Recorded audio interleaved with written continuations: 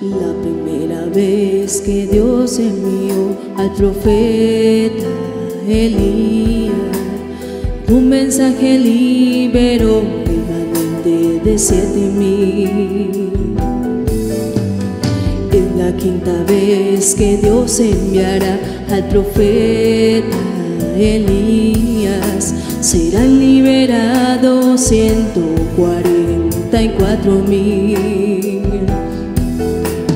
Pero la cuarta vez que Dios ha enviado al profeta Elías, un pueblo gentil como la viuda de Sarepta obtendrá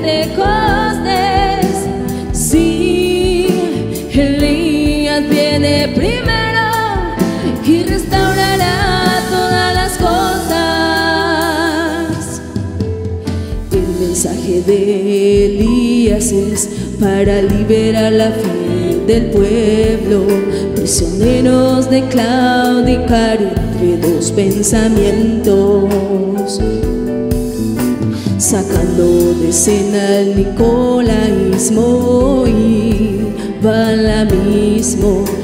Después de la gran sequía por causa de Acab y Jezabel, traer de regreso lluvia temprana y lluvia tardía. Y mi pueblo nunca jamás será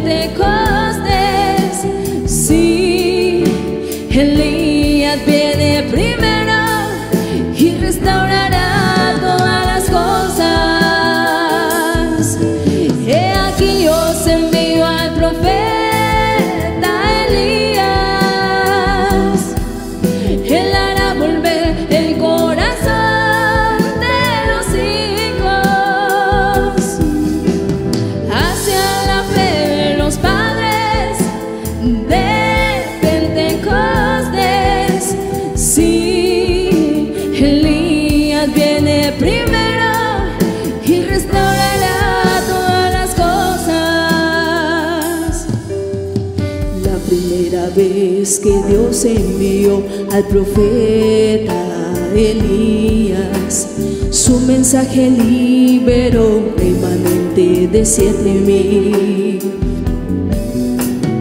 Es la quinta vez que Dios enviará al profeta Elías, serán liberados ciento cuarenta y cuatro mil. Cuarta vez que Dios ha enviado al profeta Elías, un pueblo gentil como la viuda de Sarepta obtendrá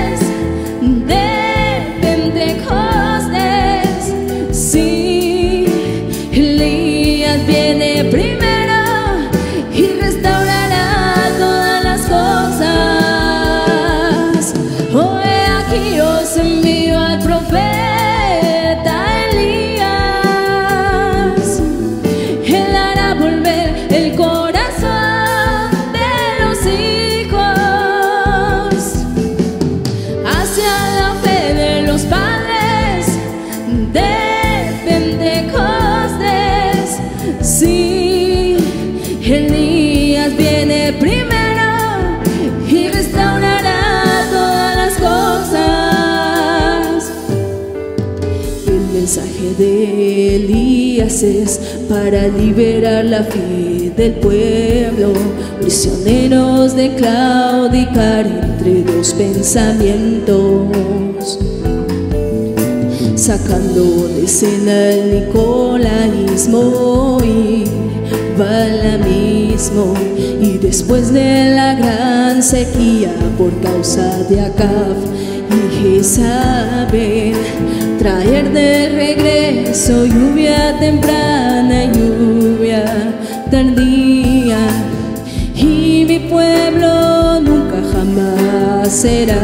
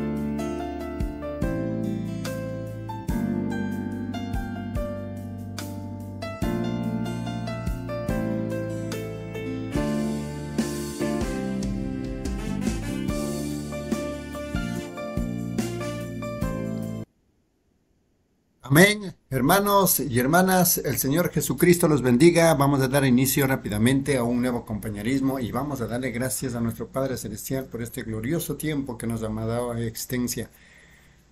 Oramos. Gracias, amantísimo Padre Celestial. Una vez más, Señor, nos acercamos humildemente ante tu presencia, Señor.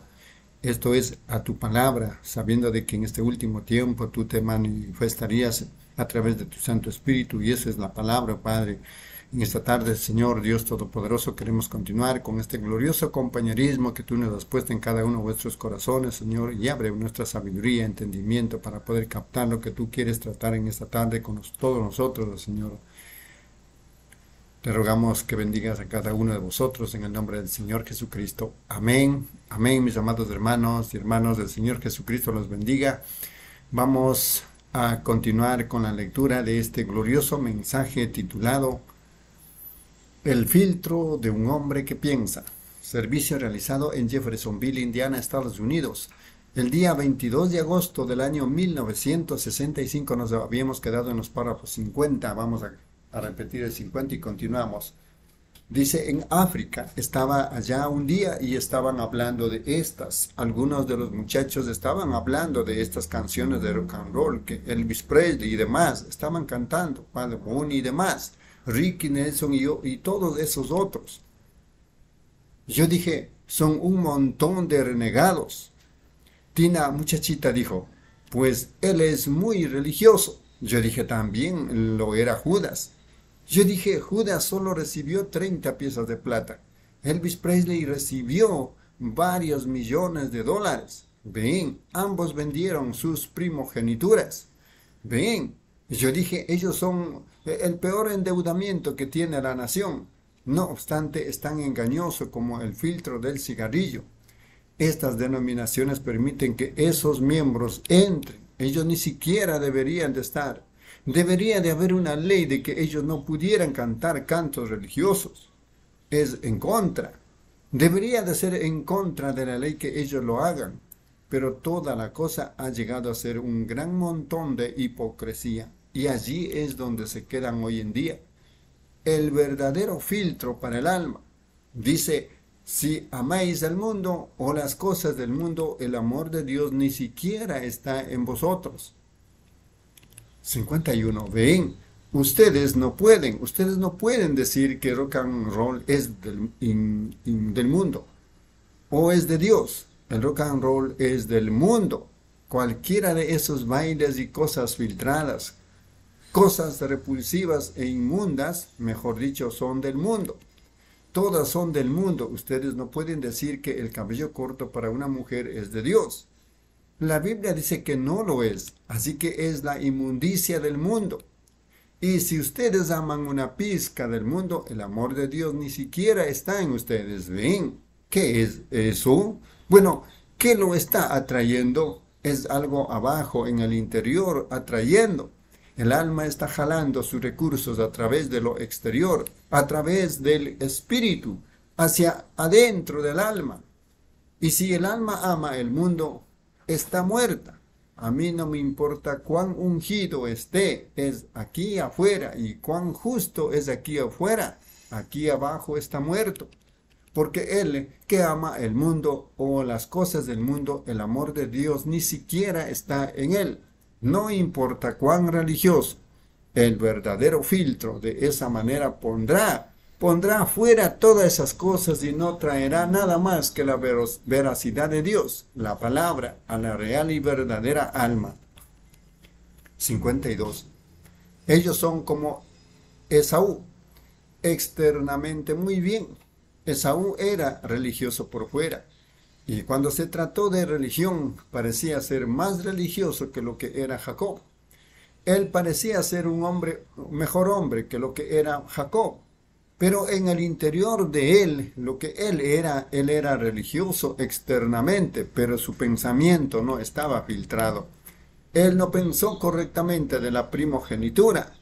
Él él no pensó que Dios, que la primogenitura significaba tanto como Dios dijo que significaba.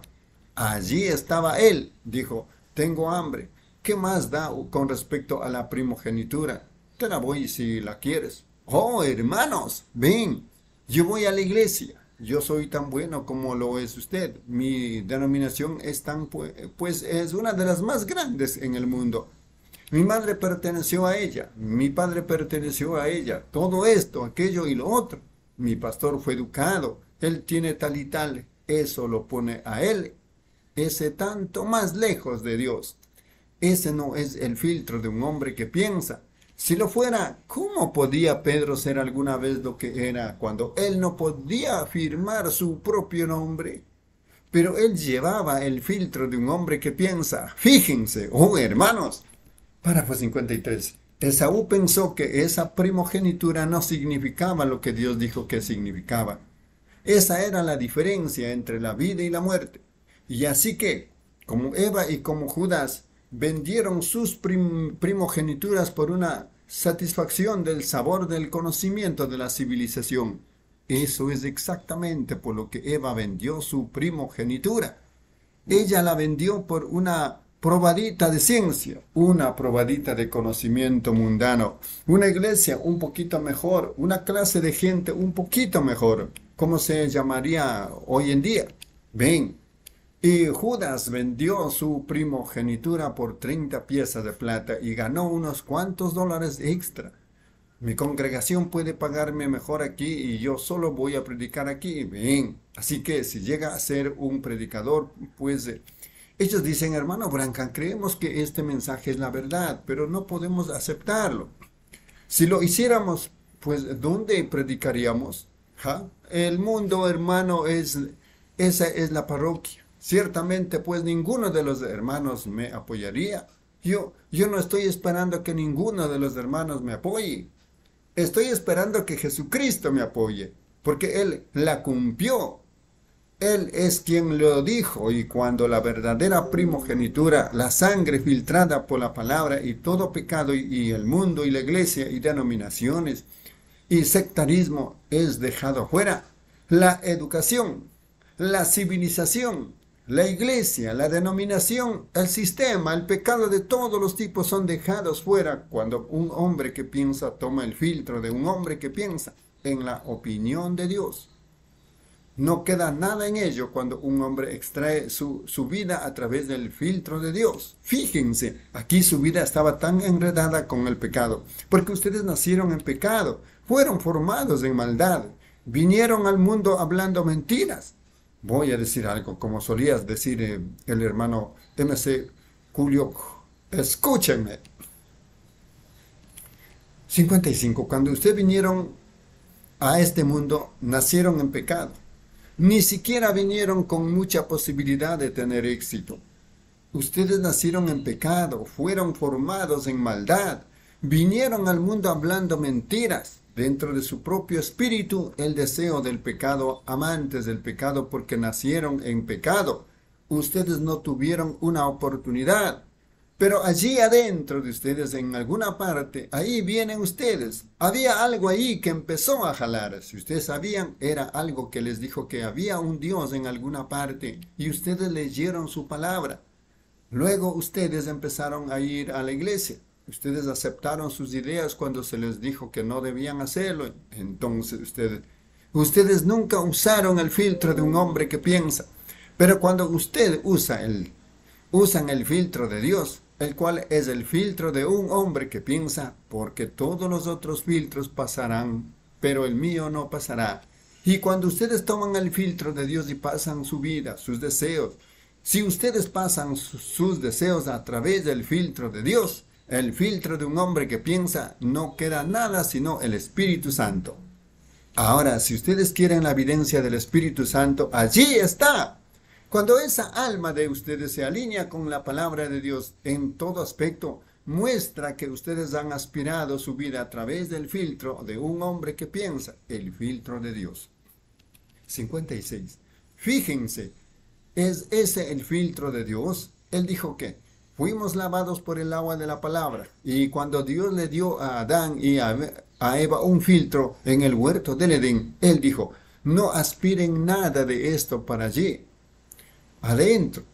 Pero Satanás abrió un hoyo en ello. Dijo, oh, es un poquito, no hará daño, solo una gota. ¿Qué pasó? es todo lo que se necesitó para establecer la muerte en la raza humana. Eso es todo lo que se necesita, solo una probadita de nicotina, entonces están perdidos. No queda nada sino el Espíritu Santo.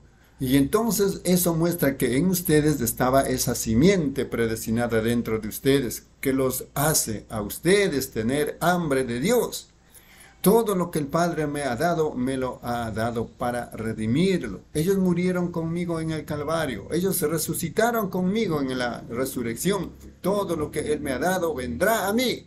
Serán colocados en el cuerpo, donde pie, brazo, nariz, boca, sea lo que sea, ellos serán colocados allí. Y ellos vendrán a mí en su tiempo. Oh, hermanos, Allí está esa verdadera filtración de todo el pecado del mundo y el amor del mundo está muerto y esta alma solo está absorbiendo una sola cosa.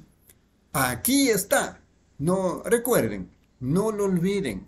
Todos ustedes allá afuera en los teléfonos, fijen esto en su mente. Cuando un hombre que piensa comienza a pensar delante de quién él se va a parar y lo que la palabra de Dios es, cuando él comienza a pensar, entonces cuando él aspira a través de eso, no hay nada que pueda llegar a ellos sino el Espíritu Santo, que es es la palabra germen, simiente desde el principio, que ustedes estaban en Dios en el principio, estando aquí jalando la vida simiente.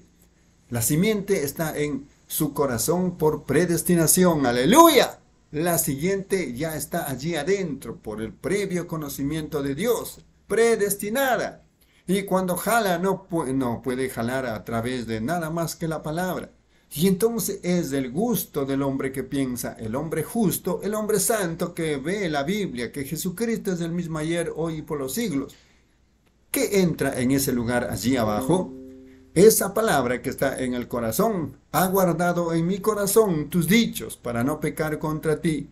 ¿Qué es cuando está jalando a través de la palabra? Solo hay una cosa que pasará a través de la palabra. Ese es el Espíritu Santo. Eso es lo único que puede pasar a través de la palabra. Es el Espíritu Santo. Y el filtro de un hombre que piensa le da a un hombre santo un gusto.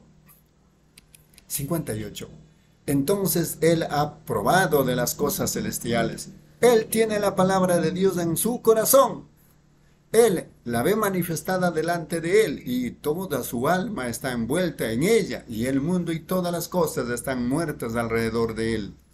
El filtro de un hombre que piensa de religión y yo estoy pensando en filtrar religión ahora.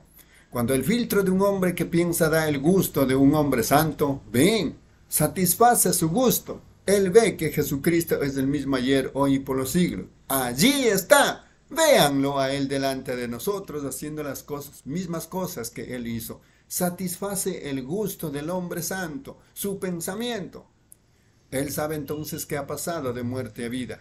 Y a Él le encanta, y, y, le encanta que el mundo sea confirmada, y quiere que la palabra sea confirmada y vindicada. En cada edad Él la espera, porque Él es un hombre santo y tiene un deseo de ver a Dios. Otros solo quieren unirse a la iglesia, este hombre quiere ver a Dios. Él no lo ve a Él en un montón de credos. Él no lo ve a Él en grandes y magníficos órganos de viento o catedrales y cruces altas o eruditos pulidos con sus cuellos volteados al revés. Él no lo ve a Él en teología y en un teólogo. Él lo ve a Él en la confirmación de su palabra. Lo he visto a Él en las hogueras de vigilia de ella mis ojos han visto la gloria de la venida del Señor. Él está pisando la cosecha donde las uvas de la ira están almacenadas. Él ha soltado el fatal rayo con su rápida y terrible espada. Su verdad no deja de seguir delante, adelante. Lo hará hasta el final. Sí, Señor. Párrafo 59. Ve lo que quiero decir. El filtro. Hombre o el filtro de un hombre que piensa. Un hombre que quiere pararse en la presencia de Dios ¿Cuál era el filtro de Dios? Su palabra. El día que de él comieres, ese día morirás. No importa qué está pasando aquí, no pasen ustedes de esa palabra, lavados por las aguas de la palabra. El filtro de un hombre que piensa, no la denominación, no un credo, no una iglesia, no una cátedra, sino el filtro de un hombre que piensa, porque ustedes van a ser juzgados por la palabra. Un hombre que piensa pensará eso. Un hombre insensato o un gusto del mundo simplemente aceptará cualquier cosa, un sustituto. ¿Por qué sustituir cuando hay uno verdadero? Vos 60.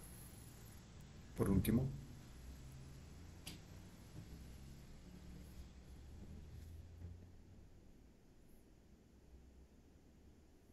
Piensen, solo piensen acerca de eso un momento. Una mujer hablando en lenguas con cabello corto y lápiz de labio opuesto. Y luego la iglesia todavía se aferra a ello, de que esa es la evidencia del Espíritu Santo. O un predicador de un seminario o alguna escuela bíblica cuando el bautismo trinitario o comprometiéndose con la palabra, con algún credo o denominación. ¿Es, ¿Es el filtro de un hombre que piensa?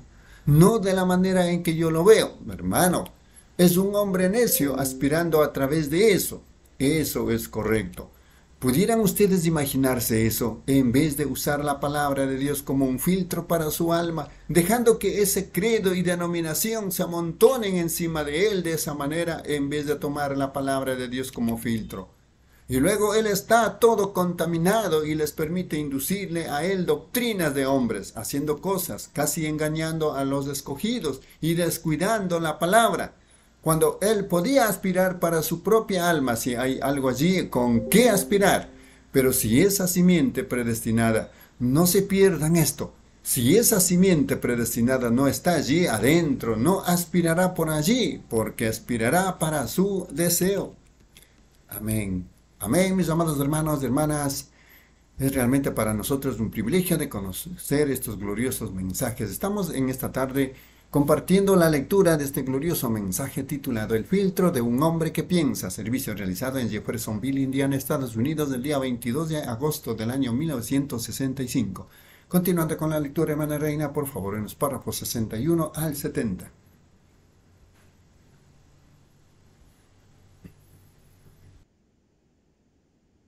Dios les bendiga, hermanos y hermanas. Continuamos con la lectura del mensaje El filtro de un hombre que piensa. Párrafo 61. Si un hombre que fuma desea el gusto de un hombre que fuma, y si él hubiera cogido una vara, yo digo, chúpese su dedo, y él estuviera allí chupándose su dedo, el hermano Branham se chupa su dedo para ilustrar, pues él diría, eso es ridículo. ¿Por qué? Su gusto es por nicotina. Así que él no es un hombre que piensa, ¿ven? Pero dice, pues yo no, no me va a saber a nada. Yo quiero probar el, yo quiero probar el tabaco. No me sabe a nada denle a él un gancho para tender ropa y que él chupe eso. ¿Ven? Seguro, déjenlo chupar eso. Él dice, no me sabe a nada. ¿Para qué está chupándolo entonces? Usted tiene un deseo de saborear nicotina. Y cuando usted está chupando un credo de iglesia y todavía ustedes, mujeres, usan cabello corto, caras pintadas y están vestidas provocativamente, y ustedes hombres las miran y todas estas otras cosas y comportándose de la manera que lo hacen. ¿Qué es? ¿Qué hay allí adentro? El mundo todavía está allí adentro y ustedes tienen un gusto. Ustedes están chupando de él por un sabor. Yo voy a esta iglesia, ellos nunca mencionan esa cosa no dicen nada acerca de esto, nada acerca de aquello. Ninguna de estas cosas son mencionadas. Nuestro predicador es de mentalidad más amplia que eso. No decimos cosas como esas. ¿Qué es? Ustedes tienen el gusto del mundo por el que están chupando. El hermano Branja toca en el púlpito varias veces. Correcto. Pero una mujer que piensa no aceptará esa clase de cosas. Ella sabe que tiene que ser santa. Y lo único que ustedes pueden pasar a través de la palabra de Dios es el espíritu, el poder vivificador para hacer que la palabra misma, la cual está en ustedes, viva para manifestar a Jesucristo en la edad en la que ustedes están viviendo. Aleluya. Hermano, si esa no es la verdad, yo no sé qué es la verdad.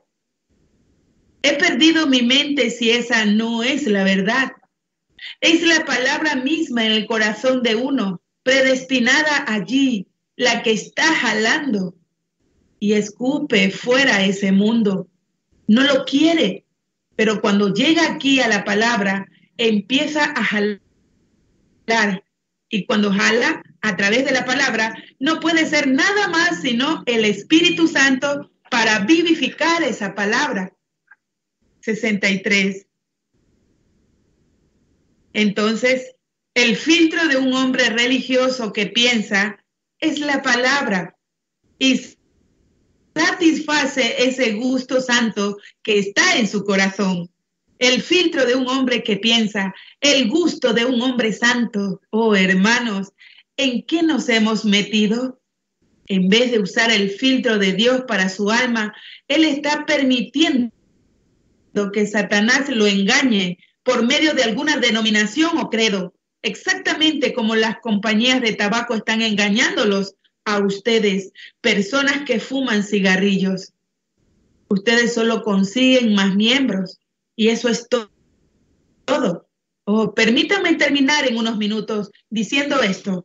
64. La ciega, la odisea. ¿Cuán ciegos podemos llegar a ser? La ciega, la odisea, la que guía a los ciegos de esta edad, bajo falsa pretensión, bajo credos falsos, bajo dogmas que son falsos, bajo denominación que es falsa, bajo libros de credos que son falsos. Oh, la ciega la odisea, guiando a los ciegos. Todos ustedes se dirigen al hoyo. Cambien su filtro esta noche, predicador. No aspiren esa nicotina denominacional metiéndola a su sistema de dogmas y credos lo cual Jesús dijo, el que le añadiere una palabra a ella o le quitare una palabra a ella, cuando ustedes le dicen a su congregación que es correcto que esas mujeres hagan eso y a esos hombres hacer aquello y todas estas cosas, aquello y lo otro, con tal que ellos permanezcan fieles a esto y hagan aquello y guarden estos credos y cosas. ¿No están avergonzados de ustedes mismos? Fariseos ciegos, dijo Jesús. Y así como Jesús clamó, fariseos ciegos, el Espíritu Santo en mi propio corazón esta noche clama, ciega la Odisea. ¿Cuántas veces Dios te hubiera dado un avivamiento? Pero ahora tu tiempo ha llegado. Es demasiado tarde ahora. ¿Cuánto te reíste y te burlaste de la gente que Dios te envió? pero ahora tu tiempo ha llegado. Oh, Estados Unidos, Estados Unidos, cuánto Dios se hubiera cernido sobre ti como una, una gallina lo hace sobre su nidada, pero no quisiste. Ahora esta voz va de costa a costa, de norte a sur y de este a oeste. Cuánto Dios se hubiera cernido sobre ti, pero no quisiste. Ahora tu tiempo ha llegado. Las naciones se están derrumbando. El mundo se está cayendo en pedazos. Un pedazo de 1.500 millas de él, 2.414 kilómetros, de 300 o 400 millas de ancho, 483 o 644 kilómetros de ancho. Se hundirá 100 o quizás 40 millas 64 kilómetros abajo, adentro de esa gran falla allá, uno de estos días, y olas saldrán disparadas hasta el estado de Kentucky. Y cuando lo haga, sacudirá al mundo tan duro que todo encima de él caerá de la sacudida. Oh, escóndeme en la roca de las edades. Dios, permíteme, permíteme, sopla sobre mí, Señor. Espíritu del Dios viviente, sopla sobre mí. Permíteme tomar el filtro de Dios y vivir bajo eso, Señor. Permíteme aspirar el aire fresco del Espíritu Santo a mis pulmones, en mi alma cada día, que yo no peque contra ti, oh Señor. Sopla sobre mí, Espíritu Santo, sopla sobre mí. Yo, 66, permíteme sembrar la palabra de Dios en mi corazón y proponerme allí que no me desviaré a la diestra ni a la siniestra, apartándome de ella, sino que viviré fiel a ella todos los días de mi vida. Y oh Padre Dios, entonces envía sobre mí el Espíritu Santo de vida para que me vivifique esas palabras, para que yo pueda manifestar a Jesucristo ante aquellos que están delante de mí, esperando que ello suceda. Esa es mi oración. Oh, hermanos, fíjense cómo hacen hoy, hoy en día en esas iglesias, succionando a la gente, a través de esos filtros denominacionales, metiéndolos al concilio ecuménico. ¿Por qué? ¿Por qué? Porque les da a ellos el deseo de su corazón, organización. Tienen un gusto por la organización. Ellos lo harán. Cada vez que Dios les envió un avivamiento y ellos, ¿qué hicieron? Lo organizaron. ¿Es correcto eso? Así que tienen su clase de filtro, porque tienen un gran gusto. Y ahora Dios va a darles el deseo del gusto de ellos. Él les va a dar. Los están succionando, metiéndolos directamente al concilio ecuménico. Y entonces siguen su gusto organizacional, entonces su merecido bien en camino. Oh, iglesia de la Odisea, no sean engañados en esta edad por sus engaños. Oh, Pentecostés, ustedes que han entrado en la Odisea, ustedes que son parte de la Odisea, la iglesia muerta a través de los metodistas, bautistas y previsterianos, solo una forma ritualista. Pero ustedes, pentecostales, que todavía podían decir amén de vez en cuando, que pueden tocar mucha música arriba en la plataforma y tener mujeres con el cabello corto danzando por todo el lugar y todavía creen en sanidad divina. ¿Cuántas veces Dios los hubiera tomado?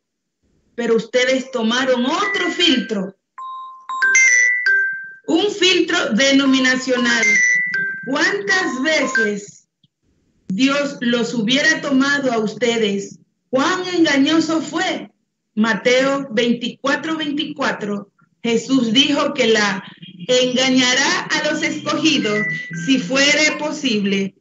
¿Cuán cerca están ustedes, así como Eva, solo dejando fuera una o dos cositas que ustedes no quisieron recibir?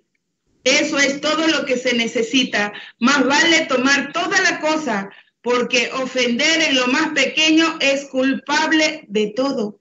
Oh, Pentecostés, Pentecostés, pasa tu pensamiento a través del filtro de Dios, no tus sueños denominacionales, y saldrás con el gusto de un hombre santo, el verdadero bautismo del Espíritu Santo.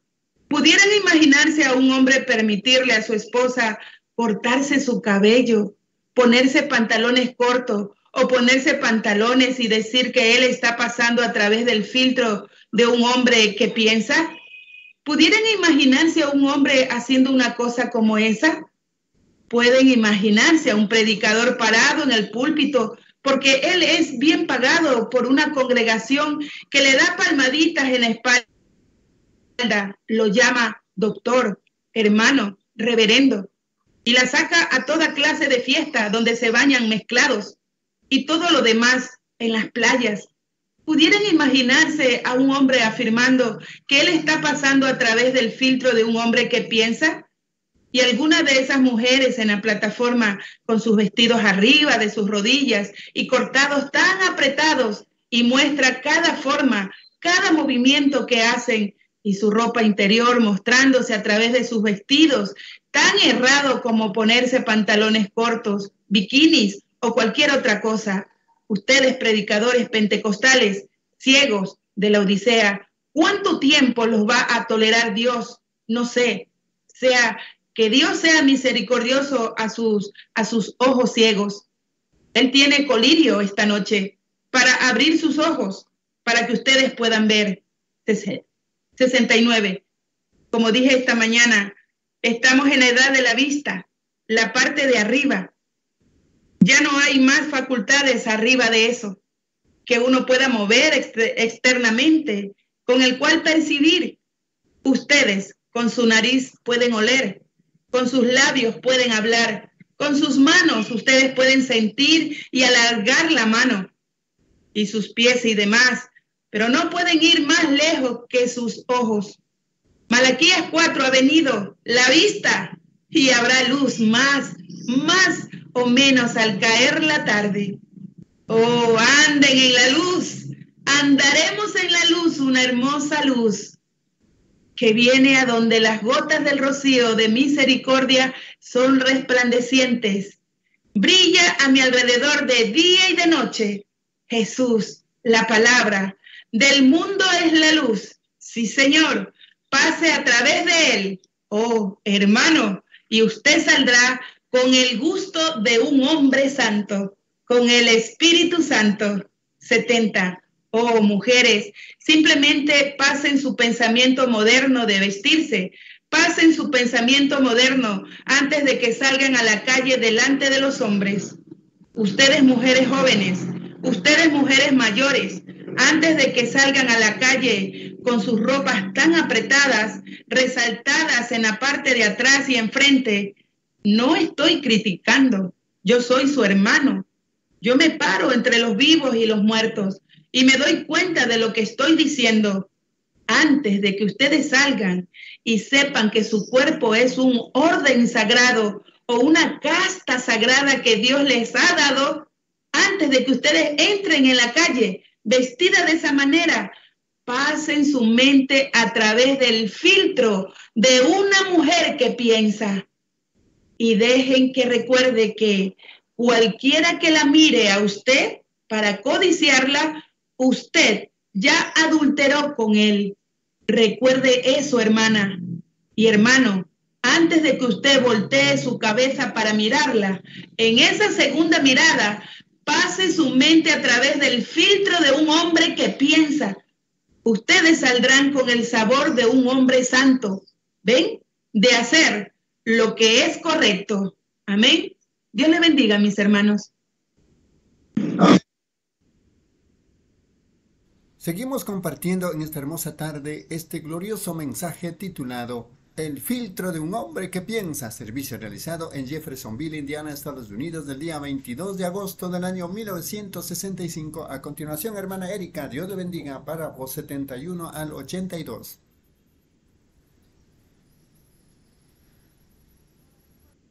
Dios le bendiga, hermanos y hermanas. Vamos a lecturar el mensaje El filtro de un hombre que piensa, del año 650822, párrafo 71. Fíjense, si ustedes pasan su mente a través del filtro de una mujer que piensa, ustedes saldrán con el vestido de una mujer santa. Eso es correcto, usted saldrá, hermano, con la mirada de un hombre santo. Ahora, eso tan solo es una cosa. Todo lo que ustedes hagan Pasen a través del filtro de la palabra de Dios. Vean si es correcto o incorrecto. Ustedes saldrán con el vestido de una mujer santa, con cabello largo, decentemente vestida, un espíritu apacible y humilde, no altivo y riñendo y peleando y comportándose mal. Un espíritu apacible y humilde, el cual es un gran tesoro de Dios. La Biblia así lo dice. Ahora quiero preguntarle algo. Allá en la tierra, vamos a terminar en unos minutos. 72. Ahora, toda esta noche, examinémonos nuestros deseos y entonces ustedes pueden ver a través de qué clase de filtro han estado aspirando. Examinémonos cada uno de nosotros, aquí y allá por toda la nación. Examinen sus deseos que quieren ustedes realmente en la vida.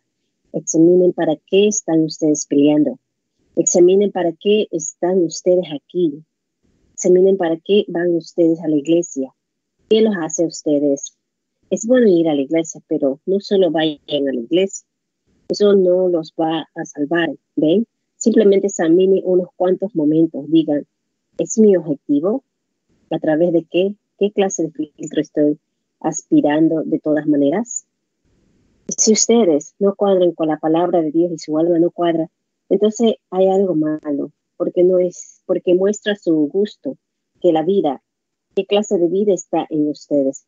Si es santa, discreta y honorable, saldrá de esa manera. Si no lo es, ustedes tienen otro gusto dentro de ustedes, del cual están extrayendo.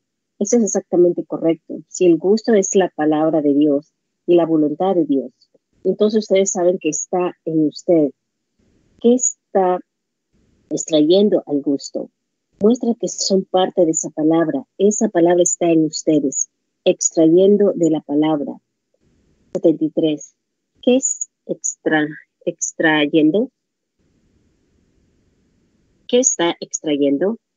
Está jalando a través de la palabra, porque, porque ustedes son una parte del cuerpo de Cristo de, de esta edad. Y si esa palabra está en ustedes, solo pueden jalar a través de la palabra, el espíritu que vivifica esa palabra para que está en ustedes. Solo la palabra, solo, solo la palabra sola no vivirá. Esa es la razón. Todo lo que el Padre me ha dado vendrá a mí, y si fuere levantado, a todos atraeré a mí mismo. Ven, ven, el Padre, la parte del cuerpo de Cristo que está en el mundo, predestinado, puesto en el corazón. Cualquier hombre que es un verdadero cristiano, nacido de nuevo hoy, sabe desde que él era un niño o una niñita, cualquiera de los dos, que había algo en uno que tenía hambre por Dios y trataron de unirse a iglesias y todo lo demás. No funcionaba. ¿Qué era? Era esa palabra. Ustedes estaban buscando un filtro y un día pasó delante de ustedes. Ustedes vieron a Jesucristo el mismo ayer y hoy y por los siglos. Eso satisfizo el gusto, ¿ven? Porque la vida está en ustedes jalando, ¿ven? La vida en ustedes jala, está jalando. Está diciendo que deseo tienen, qué deseos tienen ustedes. Aquí, ustedes están jalando. Ustedes no pueden jalar a través de esto y aquello y lo otro. Ustedes tienen que encontrar ese filtro correcto porque ustedes son personas que piensan. ¿Ven? Si ustedes son personas que piensan, ustedes están predestinados o filtrados antes, desde antes de la fundación del mundo. 74. Y si un ministro denominacional oye esto, espero que tomen filtro de un hombre que piensa. Si él es un ministro denominacional, entonces él tirará esa cajetilla denominacional que es seguro que va a perecer, porque es la palabra del hombre y aceptará la palabra filtrada de Dios, que nunca puede fallar ni, ni pasar, y satisfará el gusto del hombre santo. Y como Jacob sacrificará todo el mundo y los apetitos de toda denominación o fama que hay en el mundo, donde puede ser obispo, cardenal, ya sea que pueda ser un prevístero del Estado o un pastor de alguna gran iglesia. sacrificará todo lo que hay, no como Esaú, para llegar a ser parte del mundo, sino como Jacob. Ustedes darán todo lo que tienen para tener la primogenitura, el filtro del hombre que piensa, porque le dará el gusto del hombre es santo, y satisfará y estará satisfecho y santificará con el gusto eterno de la santa bondad de Dios. 75. Recuerden, Satanás abrió el primer hoyo atravesando la mente de Eva por su pensamiento para permitir que el gusto de su sabiduría y conocimiento pasaran. Ahora piensen en esto.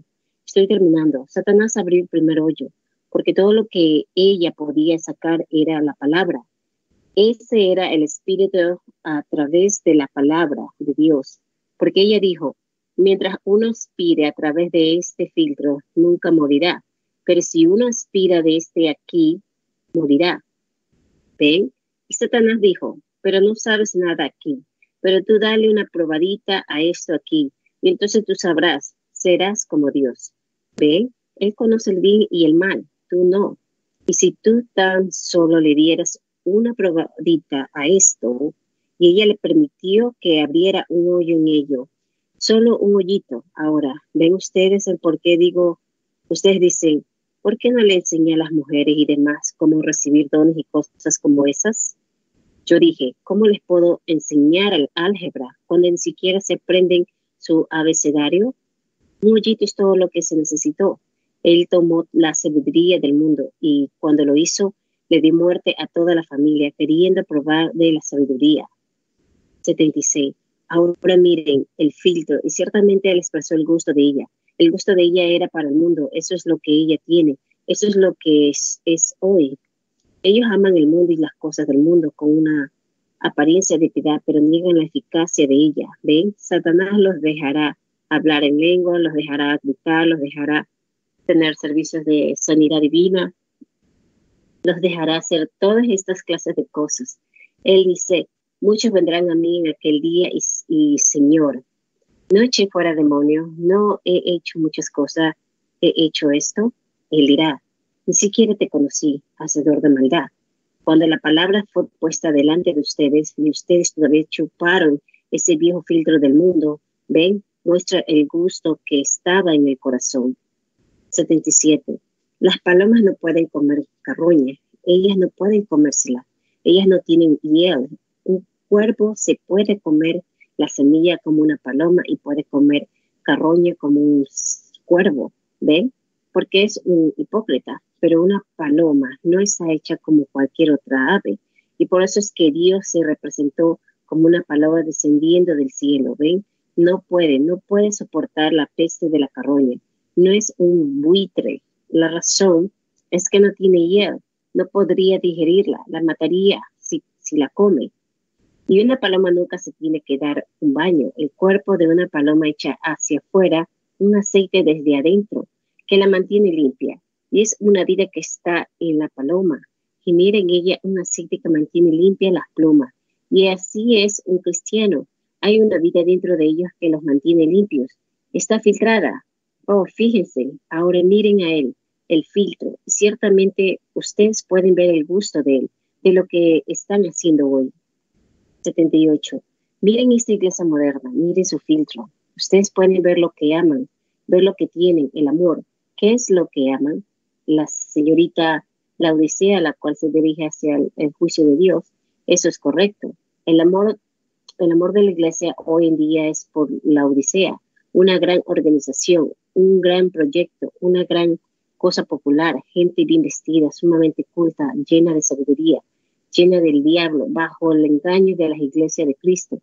Solamente hay una palabra que debería de estar allí, anticristo, porque todo lo que Cristo enseñó, ellos prácticamente están en contra de todo, ¿correcto? Solo lo suficiente para que ellos puedan llamarse eso, Ahora, si ustedes son gente que piensa en esta noche, aquí y allá en las tierras a donde el mensaje está llegando, su deseo será un gusto de la Biblia, no un gusto denominacional, porque ustedes serán juzgados por la misma Biblia, la palabra por la cual les estoy pidiendo que filtren su alma. Y rechazar una sola palabra de ella y no permitir que su alma pase a través de esa palabra, ustedes serán rechazados, porque no solo de pan vivirá y respirará el hombre, sino de toda palabra que sale de la boca de Dios. Y será traída a ustedes, predestinado, y cuando el Señor sople sobre ustedes, su espíritu, vivificará esa palabra a una realidad. Y ustedes verán que Jesucristo es el mismo ayer y hoy y por los siglos. Oh, hermanos, dejen la tarjetilla denominacional y religiosa del mundo, déjenla tirada como esa tarjetilla de cigarrillos en el bosque Déjenla podrirse y deteriorarse. Eso es un filtro incorrecto. Y tomen la palabra, la cual es Cristo, que da y alcanza y conserva el gusto de vida eterna. Y a todos los que la quieren tomar vida eterna, la palabra, si ustedes están predestinados, ustedes la, van, la ven. No hay manera de esconderla de ustedes. Ustedes miran allí y dicen, pues está tan claro delante de mí, yo la miraría Allí está, estoy mirando directamente a ella, la veo, aquí está la palabra, cada palabra, simplemente palabra por palabra, viviendo. Entonces allí hay un gusto de vida eterna que ustedes quieren y cuando ustedes aspiran a través de eso, ¿qué puede pasar a través de eso? el filtro de Dios? Nada excepto el espíritu, nada eh, del mundo, en lo absoluto, nada de incredulidad en lo absoluto. Es el filtro de Dios y cuando ustedes aspiren a través de eso, nada puede pasar a través de eso excepto el Espíritu Santo. 80. Ahora ustedes tienen la evidencia del Espíritu Santo, ¿ven? El gusto de un hombre una mujer santos. Ellos quieren vivir, tienen vida eterna y debido a que esta palabra es vivificada a ellos, ellos viven. El filtro de un hombre que piensa y el gusto de un hombre santo no tomen el mundo como esas compañías de cigarrillo bajo un engaño, sino tomen el verdadero filtro de un hombre que piensa. Filtren el aliento que respiran, el aliento que comen, todo lo que ustedes son, aspírenlo a través de la palabra de Dios. Y ustedes tendrán el gusto de un hombre santo, porque producirá eso, porque Él es el mismo ayer y hoy y por los siglos. Y yo sé, sea que seamos o sea que no seamos, yo creo que somos, pero si no lo somos, hay algo en el mundo hoy que es parte del cuerpo de Cristo y solo vivirá de la palabra de Dios, toda palabra que sale de la boca de Dios para esta edad en la que estamos viviendo ahora. 81. Y no puede ver dónde la denominación, esas palabras dijeron tan claramente en la Biblia que sucedería y las cosas que serían. Y aquí estamos viviendo exactamente en ello ahora. Yo no puedo ver dónde podría ser alguna otra, otra cosa sino esto. Iglesia, me doy cuenta que tengo que pararme con ustedes en el juicio algún día. Lejos esté de mí el decir alguna vez algo errado por popularidad. Yo no quiero eso. Si se pudiera llevar a cabo mi deseo yo, solo mi deseo humano, yo tomaría mi rifle y me iría al bosque y me construiría una cabaña y pondría trampas el resto de mi vida. Me estoy haciendo viejo, cansado, agotado, estoy deshecho, pero no puedo parar. Hay algo dentro de mí presionando. Hay de mí si no digo la verdad y toda la verdad. Hay de mí si no me paro aquí hasta, el, hasta que el último aliento de mi cuerpo me haya dejado. Debo pararme a pesar de lo que alguien más diga. Soy responsable delante de Dios. 82 y yo verdaderamente creo que las cosas que estamos predicando son verdad, no porque soy el que las predica, no, mi hermano, no, señora. Dios conoce mi corazón. Cuánto me gustaría sentarme en la congregación y escuchar predicar a los ungidos. Cuánto más fácil sería para mí, ciertamente porque yo tendría vida eterna de la misma manera que el hombre en el púlpito. Yo soy parte de ella, así como él lo es. Yo iría al mismo cielo, tendría los mismos privilegios. Qué fácil sería para mí sentarme allí y no recibir todas estas heridas y golpes y comportamiento. Qué fácil sería, pues paso toda la noche sin dormir, una hora y media y dos horas, luchando toda la noche con cosas que se han presentado. Qué fácil sería para mí hacer eso, coger mi rifle a la mañana siguiente, mi caña de, pescar e ir a pescar o, o a cazar. Qué fácil sería, pero hermano, me tengo en suerte que Dios me ayude a, nunca huir de mi puesto del deber, sino a pararme leal y fiel y producirle a ustedes el filtro de un hombre que piensa que les dará el gusto de un hombre santo. El filtro de un hombre que piensa son las aguas, de las aguas de separación. Es la purificación del pecado, lo cual es la palabra de Dios. Y el hombre que piensa, el hombre que sabe que tienen que pararse delante de Dios, sabe que él tiene que responder por toda palabra de la Biblia ellos satisfará eso, ese gusto que está en el corazón de ustedes. Que Dios les ayude a recibirlo mientras inclinamos nuestro rostro. Dios le bendiga, hermanas, hermanas. Amén, hermana Erika. Dios le bendiga. Continuamos compartiendo la lectura de este glorioso mensaje titulado El filtro de un hombre que piensa. Este mensaje fue predicado en Jeffersonville, Indiana, Estados Unidos, día 22 de agosto del año 1965. Continuando con la, la lectura en los párrafos 83 dice, amado Dios, otra hora o dos han pasado. El reloj ha dado la vuelta ahora.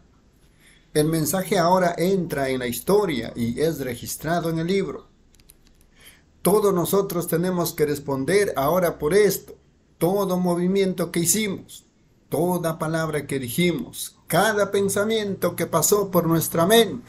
El disco todavía está tocando y tocará hasta que la vida termine, y entonces responderemos en el día del juicio. Oh Dios, el gran creador de cielos y tierra, a quien creemos, ruego por esta gente de este día, ruego por mí mismo con ellos, que Señor Jesús, que tú mantengas tu filtro.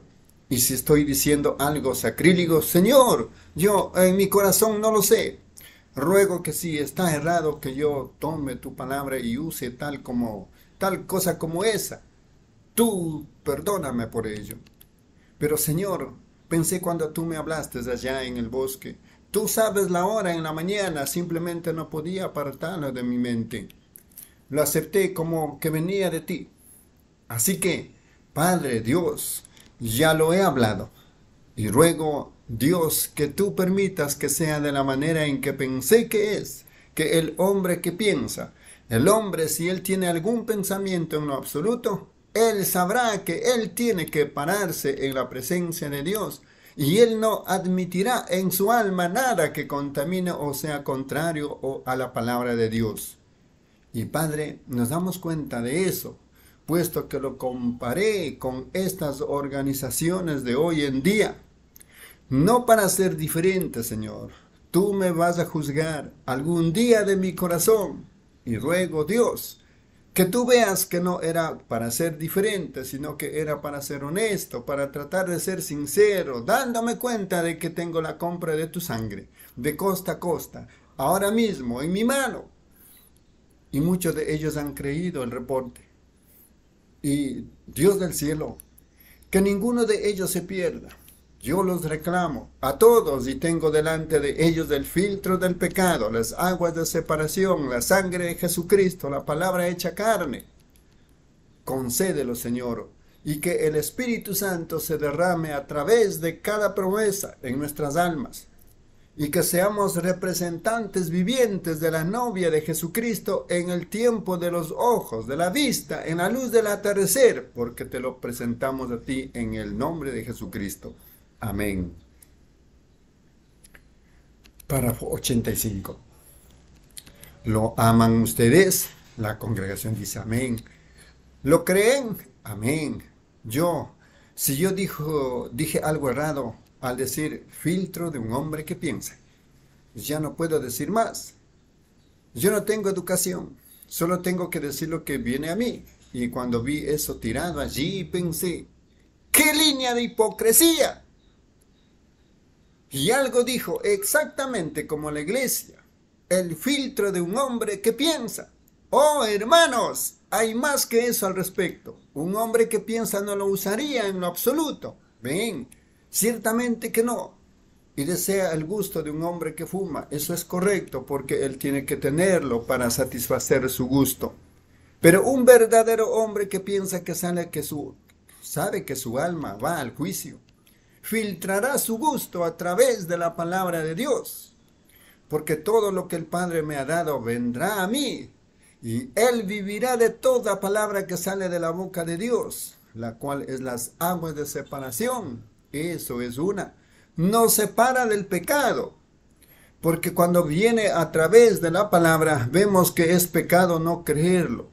Así que simplemente lo creemos y seguimos adelante es una separación del pecado. Lo aman a Él. La congregación dice amén. Yo lo amo. Yo levantemos nuestras manos ahora a Él, porque Él a mí me amó y me compró mi salvación allá en la cruz. 86. ¿Qué dijo Él?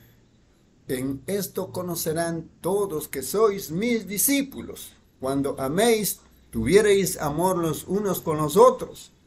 Ahora estrechemos la mano de alguien mientras lo cantamos de nuevo y decimos, yo lo amo. A usted también, hermano, yo le amo. Yo, esto parece hacerle saber que Él a mí me amó y me compró mi salvación allá en la cruz. Ahora, ¿le gusta el filtro de un hombre que piensa? La congregación dice amén. Cuando ustedes vayan a la calle a codearse con el mundo mañana, hermano, hermana, ¿tienen ustedes el filtro de un hombre que piensa? Cuando ese hombre los llame a ustedes un santo rodador, ¿usan ustedes el filtro de un hombre que piensa? Cuando ese alguien dice algo malo en contra de ustedes, ¿tienen ustedes el filtro de un hombre que piensa?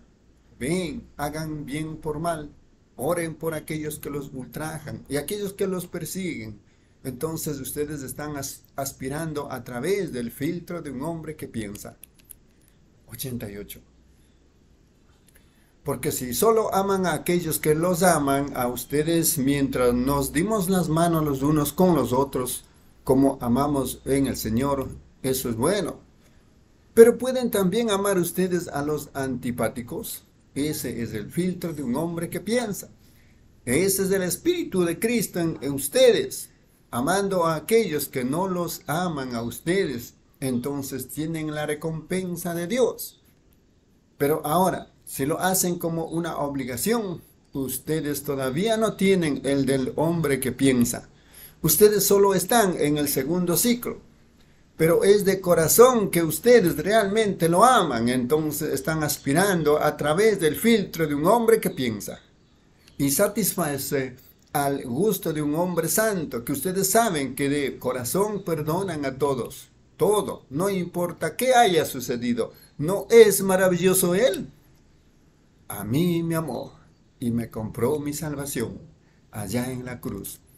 Andaremos en la luz, es una hermosa luz Viene a donde las gotas del rocío de misericordia son resplandecientes.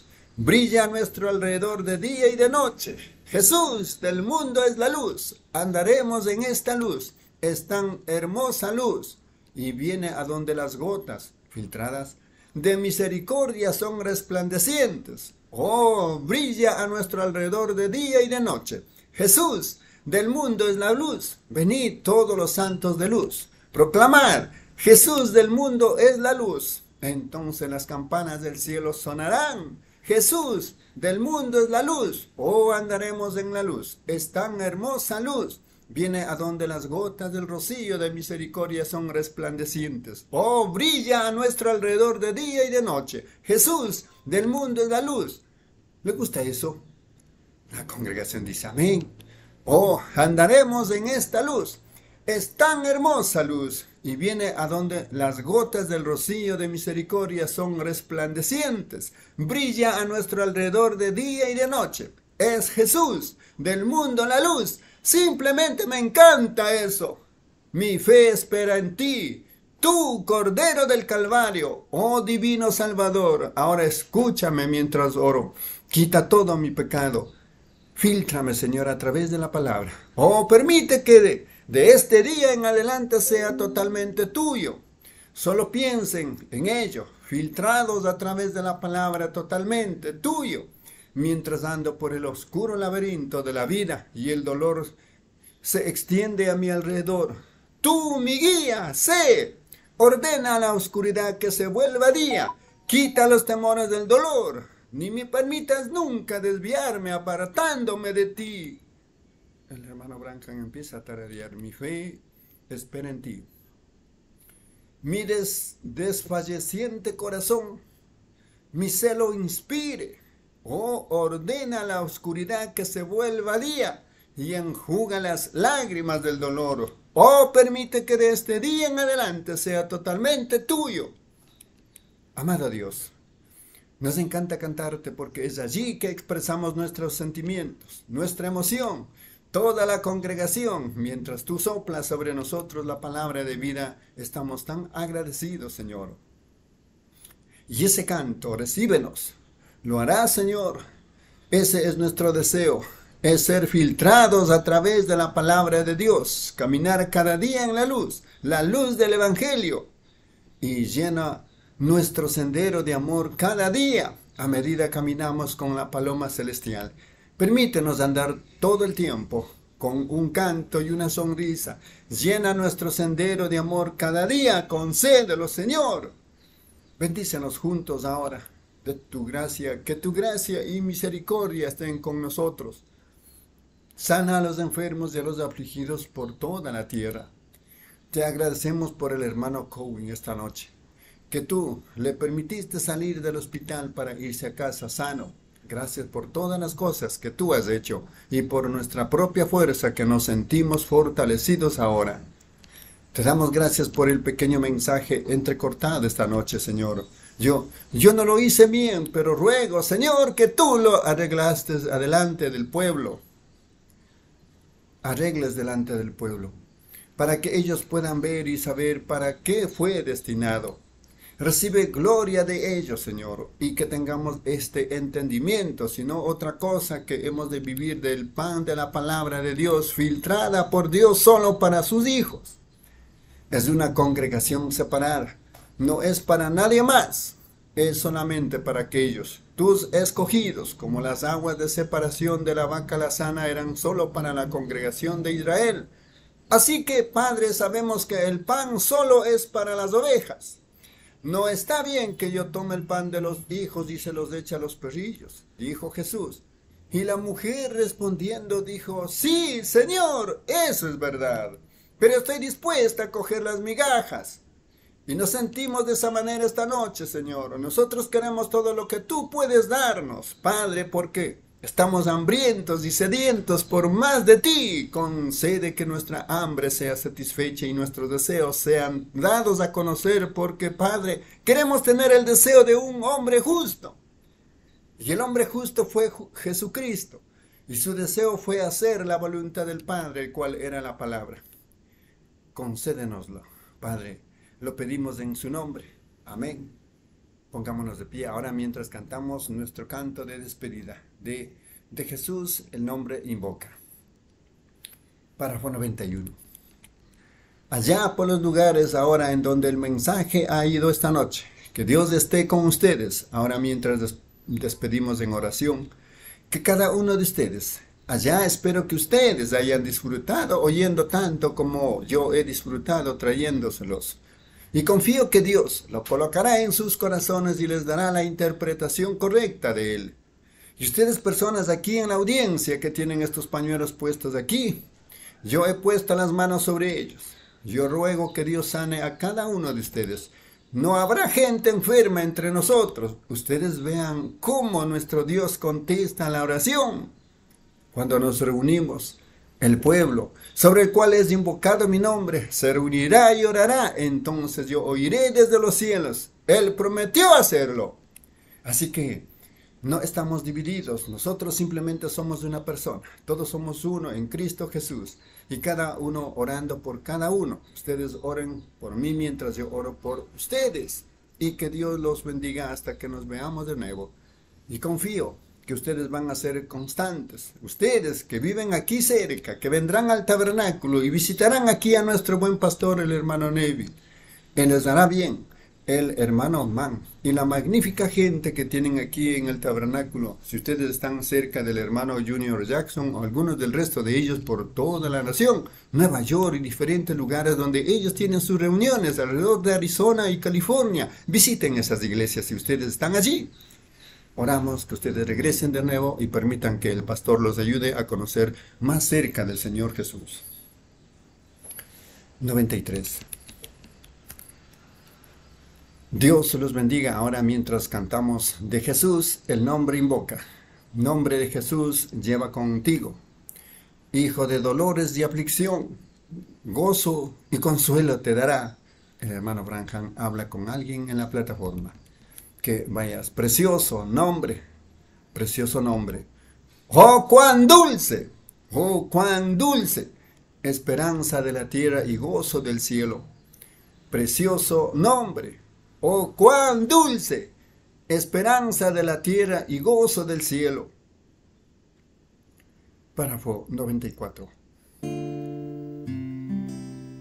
Mirando a la congregación esta noche, viendo al hermano Esther Vedder allá atrás, el hermano Palmer y a muchos, al hermano JT y a tantos de los ministros parados aquí alrededor. No puedo mencionar todos sus nombres. Quisiera poder tenerlos a todos aquí arriba y que todos ustedes despidieran a la congregación o hicieran algo. Ustedes entienden, ¿no es así? Yo sé que ustedes tienen un corazón cristiano y saben que tenemos que... ¿Cómo? ¿Cómo somos? Todos juntos somos una sola persona en Cristo Jesús.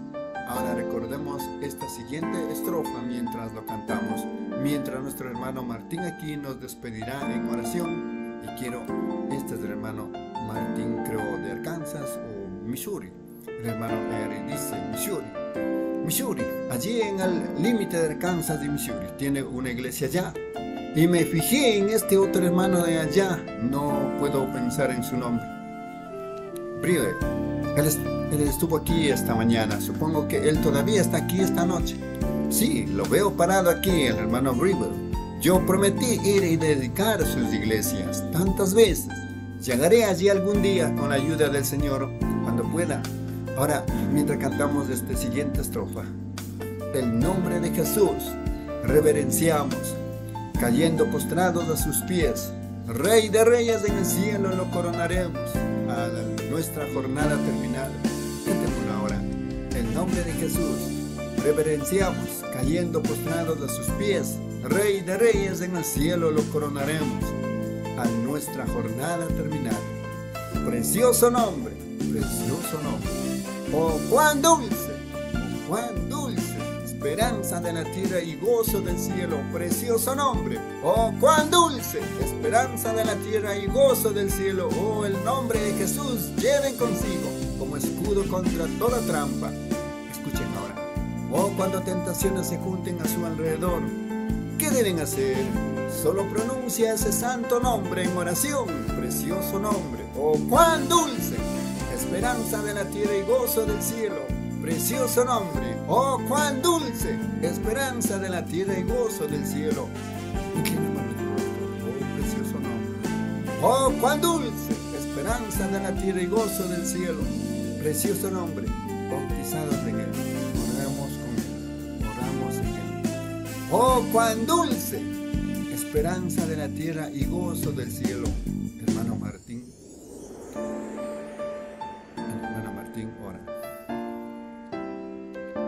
Amén, amén, mis amados hermanos y hermanas. De esta manera hemos concluido con la lectura de este glorioso mensaje titulado El filtro de un hombre que piensa.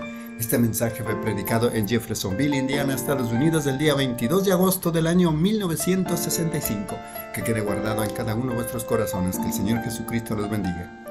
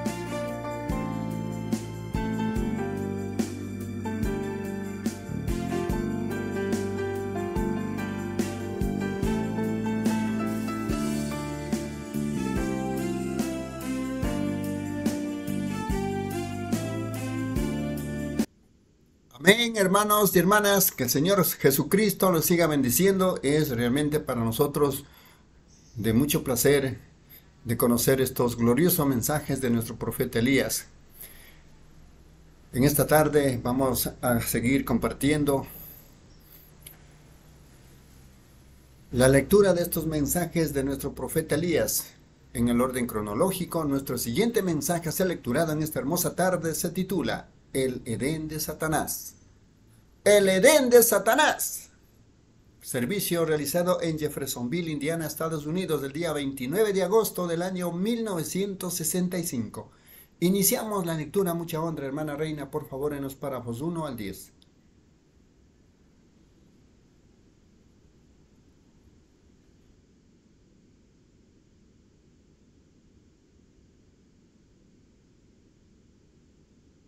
Amén. Les bendiga, hermanos y hermanas. Iniciamos con la lectura del mensaje El Edén de Satanás. Párrafo 1. Inclinémonos, amado Dios. Te estamos agradecidos en esta noche por esta gran oportunidad de venir nuevamente en el nombre del Señor Jesús para hacerle frente a nuestro enemigo, tu enemigo, aquí afuera, en pleno campo de batalla, para correrlo de en medio de tu pueblo con la palabra, para que ellos puedan ver en esta noche, Señor, la luz del Evangelio. Ruego que tú unjas nuestros ojos con el colirio para que puedan estar abiertos a la verdad y que así podamos salir de aquí diciendo en nuestros corazones, no ardía en nuestros corazones mientras Él nos hablaba a lo largo del camino? Sana a los enfermos y a los afligidos, anima al desanimado, levanta las manos débiles que antes se colgaban sueltos, que podamos mirar hacia la venida del Señor Jesús, lo cual creemos está a la mano. Esto lo pedimos en el nombre de Jesús. Amén. Pueden tomar su asiento. Párrafo 2. En esta noche trataré de ser breve porque sé que muchos han venido de diferentes partes del país para este servicio o para algunos se han quedado y quizás tengan que volver por un camino largo para regresar y yo se los agradezco. En esta mañana yo mismo deseaba escuchar al hermano Neville. Le he oído muchas veces y siempre que le he oído lo he apreciado, pero en esta mañana, qué mensaje tan oportuno. Yo sé que tuve la dirección del Señor al escuchar eso en esta mañana, muy hermoso, y veo por qué es que ustedes también les gusta venir y escucharle, y al escucharlo, Él siempre les hará bien, estoy seguro. Tres, hoy estaba tratando de ponerme al día con algunas de mis entrevistas esta mañana y esta tarde Aún tengo muchas, muchas, muchas por delante. Creo que fue Jetro que en una ocasión le dijo a Moisés, dijo, es demasiado para ti. Así que tenemos suficientes hermanos aquí para lidiar con sus problemas y cada uno de estos ha sido algo legítimo y son cosas buenas que merecen atención. Y yo recomendaría a nuestro pastor o al hermano Mann y otros ministros aquí de nuestra fe, ustedes pueden ir a ellos. Le dirán exactamente la cosa que tiene que hacer. Algunas personas, sus hijos se están casando, desatendiéndose del parentesco o cosas que están mal. Estos hombres les pueden ayudar igual que cualquier otro por cuanto son siervos de Cristo. Vayan con ellos y estoy seguro que les darán la ayuda necesaria no puedo atender a todas estas cosas, son tantas. Y a cada lugar a donde voy se van acumulando más y más. ¿Ven ustedes? Y uno desea atender a cada uno, pero no se puede. Pero yo estoy orando constantemente para que Dios de alguna manera lo resuelva todo para cada uno de ustedes. Ahora, en esta noche queremos ir a la escritura y del capítulo 3 de Génesis leer una porción de la escritura y referirnos un poco a algunas cosas que hemos estado hablando en tiempos pasados y veremos si el Señor Jesús nos añade un poco más a lo que tenemos antes que salgamos. Ruego que Él lo hará, pero la serpiente era astuta, más que todos los animales del campo que Jehová Dios había hecho, la cual dijo a la mujer, con que Dios ha dicho, no comáis de todo árbol del huerto? Y la mujer respondió a la serpiente, del fruto de los árboles del huerto podemos comer, pero del fruto del árbol que está en medio del huerto, dijo Dios, no comeréis de él, ni le tocaréis, para que no muráis. Entonces la serpiente dijo a la mujer, no moriréis, sino que sabe Dios que el día que comáis de él, serán abiertos vuestros ojos y seréis como Dios, sabiendo el bien y el mal. Y vio la mujer que el árbol era bueno para comer y que era agradable a los ojos y árbol codiciable para alcanzar la sabiduría. Y tomó de su fruto y comió. Y dio también a su marido, el cual comió así como ella. Entonces fueron abiertos los ojos de ambos y conocieron que estaban desnudos. Entonces cosieron hojas de higuera y se hicieron delantales. 5. Que el Señor añada sus bendiciones a la lectura de su palabra. Ahora en esta noche, de ahí me gustaría tomar el texto y llamarlo el Edén de Satanás. Es algo duro el decir el Edén de Satanás, como que encaja con la otra noche del domingo pasado, cuando les estaba hablando aquí acerca de el filtro del hombre que piensa y el gusto de un hombre santo. Algunas veces estas pequeñas expresiones crudas nos llevan a algo y nos hacen estudiar y lo ponen a uno a leer la palabra. Y eso es lo que deseo que haga toda mi congregación. No con solo pan vivirá el hombre, mas con toda palabra que sale de la boca de Dios. Así que lean la palabra, estudienla y estudienla con los ojos de Dios para así dar entendimiento a su intelecto de cómo es que debemos vivir en este día presente. Seis. Ahora, para venir en esta noche, solo para hablarles, para decir, bueno, yo podría hacer esto o aquello. Me gustaría hablar con la gente, tanto como también me gustaría ir a casa con cada uno de ustedes en esta noche. Dios sabe que eso es la verdad. Me gustaría ir a casa con cada uno de ustedes y en la mañana participar del desayuno y luego salir y mañana por la tarde ir a cazar ardillas con cada uno. ¿Ven? Me gustaría hacer eso, pero no puedo hacerlo y me gustaría ir a su casa y solo sentarme y hablar con usted, sentarme en el balcón después del servicio y hablar con usted por un rato y hablar acerca de su bienestar y acerca de Dios. Me gustaría hacer eso. Hombres y mujeres aquí, Dios sabe que a mí me gustaría hacer eso, mas no lo puedo hacer. Existe tanta presión y tensión. Siete. Y en esta edad nerviosa en que vivimos, y yo mismo soy una persona nerviosa. Hoy me propongo hacer algo. Es algo que tengo que hacer. Y mañana eso está a un millón de millas de mí. Y de hecho algo me ha interrumpido y ha sucedido esto y aquello. Uno tiene un problema tratando de mantener todo bien equilibrado. Pero mi, mi meta principal es de predicar el Evangelio a través de la iglesia y hacer todo lo que pueda para traer honra a Jesucristo en este día, mientras yo esté aquí en la tierra y por el tiempo que me quede en la tierra. Yo vengo a tratar de decirles algo que les ayude, algo que estudié después de llegar a casa esta mañana. ¿Qué podría decir yo en esta noche, Señor, que ayudaría a esa gente?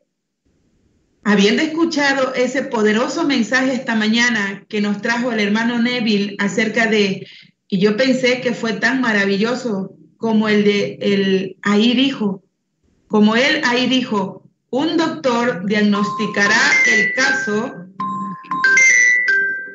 un doctor diagnosticará el caso, pero el hombre que viene con una cacerola llena de agujas, él da la inyección. Así que yo pensé que eso fue realmente una verdadera y hermosa expresión. Pensé sobre eso, el suero, después que el caso es diagnosticado. Y así que esa es una cosa muy buena. Deseaba hablarles algo, traer algo para ilustrarles la promesa de Dios para esta edad. ¿Ven? Algo, no algo que alguna otra persona fue en algún otro día, pero algo. Y todas esas cosas están bien todos nosotros nos referimos a esas cosas, pero yo pensé que trataría de hacerles pensar en algo con estas escrituras que tengo apuntadas aquí, algo que les ilustraría para saber y hacer de ustedes mejores soldados en el campo en el cual están peleando ahora para aprender bien las tácticas del enemigo, para que puedan bloquear todo antes que les llegue. ¿Ven? Esa es la cosa principal. Aprender a esquivar los puñetazos lo más que puedan. Párrafo 10. Ahora veamos este gran, por unos cuantos momentos, este gran día pecaminoso en el cual estamos viviendo. No creo que jamás ha habido un día de todo lo que yo he leído en la historia. Han habido días mayores de persecución cuando los hijos de Dios fueron puestos a muerte a cada mano. Pero en cuanto a los engaños del enemigo, nunca hemos tenido un día como este en que ahora estamos viviendo. Es el día más engañador y astuto. Y cuando veo eso, me hace ver que el cristiano tiene que estar más atento hoy que lo que ha estado en cualquier otra edad. Amén. Dios le bendiga, mis hermanos. Amén, hermano Dios le bendiga.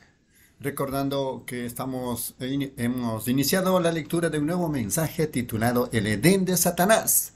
Mensaje predicado en Jeffersonville, Indiana, Estados Unidos, 29 de agosto del año 1965. Continuando con la lectura, hermana Erika, por favor, en los párrafos 11 al 20.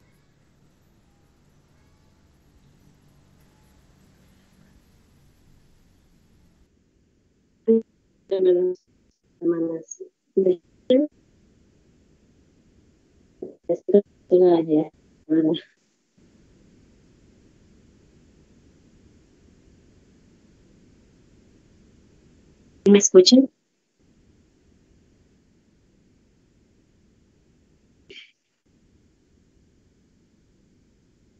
Ok. Ahí, ese luego. Ok, Dios le bendiga. Continuamos con el mensaje El Edén de Satanás, párrafo 11. Ahora, allá en los días de la persecución de Roma contra la iglesia, si un cristiano cometía un error, lo echaban a la arena y lo entregaban a los leones o algo parecido. Eso fue cuando descubrieron, descubrieron que era un cristiano y él así sufría por su testimonio. Pero su alma fue salva porque fue un creyente de Dios, puro y inaventurado, y alegremente sellaba su testimonio con su sangre. Al momento que sus venas se reventaban o su cuerpo agujerado sangraba, él clamaba con una fe genuina y leal, Señor Jesús, recibe mi espíritu. 12. Pero hoy en día la astucia del diablo hace a la gente creer que es un cristiano cuando no lo son. Ahí está la, la cosa. Usted ya no tiene que sellar. Es un día mucho más astuto que cuando uno tenía que sellar su vida con su testimonio. El diablo había puesto toda trampa astuta que él pueda. Para él es un engañador. Y en Mateo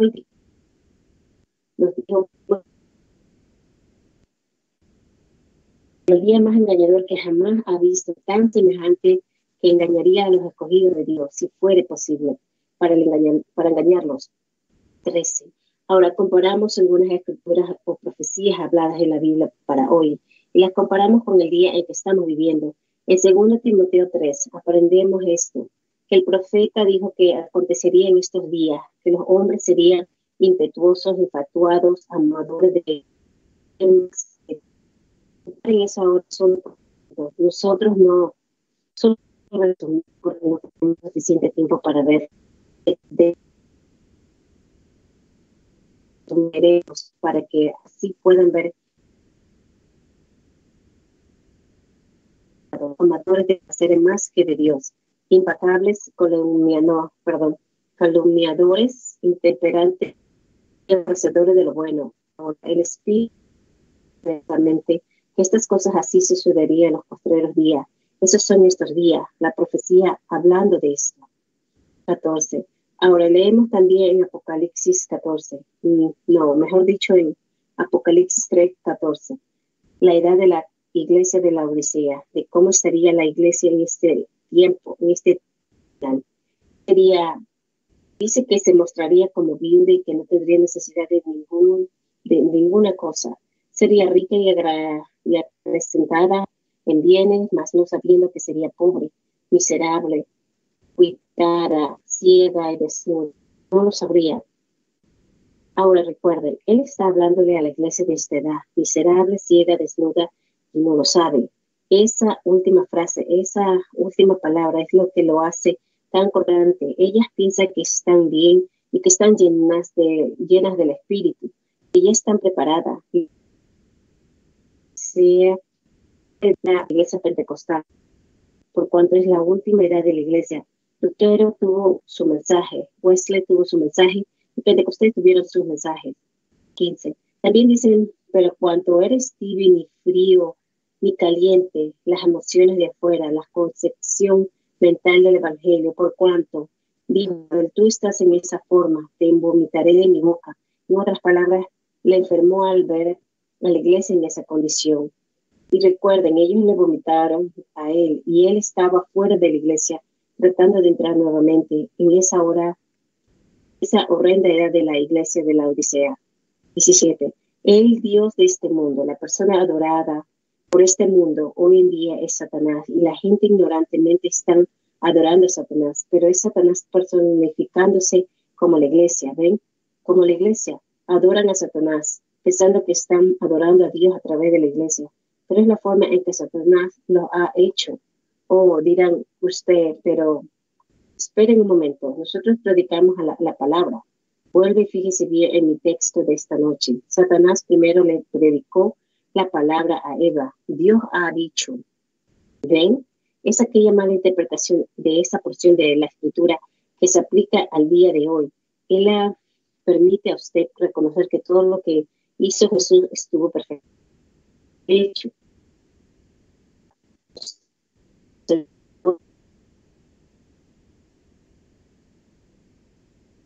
Movieron a entonces lo aplica a otra edad. Esto es todo. Y eso es hacer que la gente la, lo vea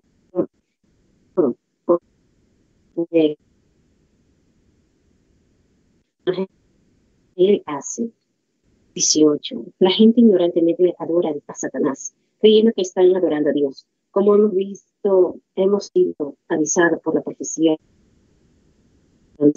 que veamos eso en segunda de Salón. Hablamos y me, gustaría leer eso. Creo que es el segundo de Tesalonicenses. Aquí tengo la escritura. Respecto a la venida de nuestro Señor Jesucristo y nuestra reunión con Él, os rogamos, hermano.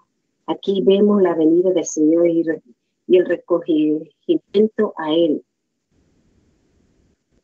A su pueblo, a Él mismo en los días finales. El de la gente al Señor. No a la iglesia, sino al Señor el, recogimiento es a Él, que no es dejáis mover fácilmente de vuestro de pensar, ni os conturbéis, ni por tu espíritu, ni por tu palabra, ni por carta como si fuera nuestra, en el sentido de que el día del Señor está cerca. Nadie os engañe de manera, porque no vendrá sin que antes venga la apostasía y se manifieste el hombre de pecado, el hombre de pecado, observen bien lo que él es. Se mantiene, se manifieste el hombre de pecado, el hijo de perdición. Ese fue Judas, ¿ven? El cual se opone y se levanta contra todo lo que se llama Dios. Es objeto de culto, tanto que se siente en el templo de Dios, haciéndose pasar por Dios. 19. Es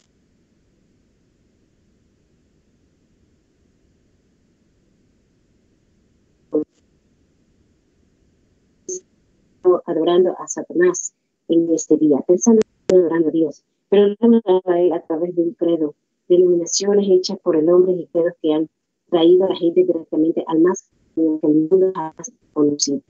No para este día. Ellos aún no la creerán. Ellos nos preguntamos cuando Dios dijo que Él haría ciertas cosas. En la que Dios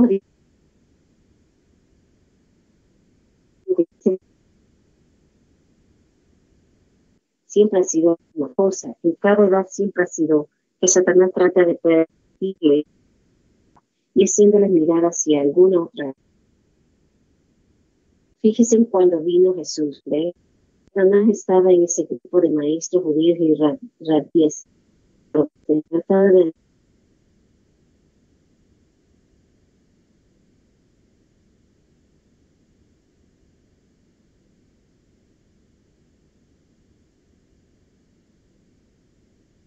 eran religiosos y enfocados en la ley de Moisés. ¿Ven lo que él hizo?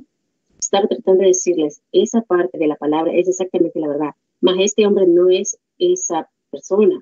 ¿Ven cuán engañador es él? Es aquel genuino del día del engaño.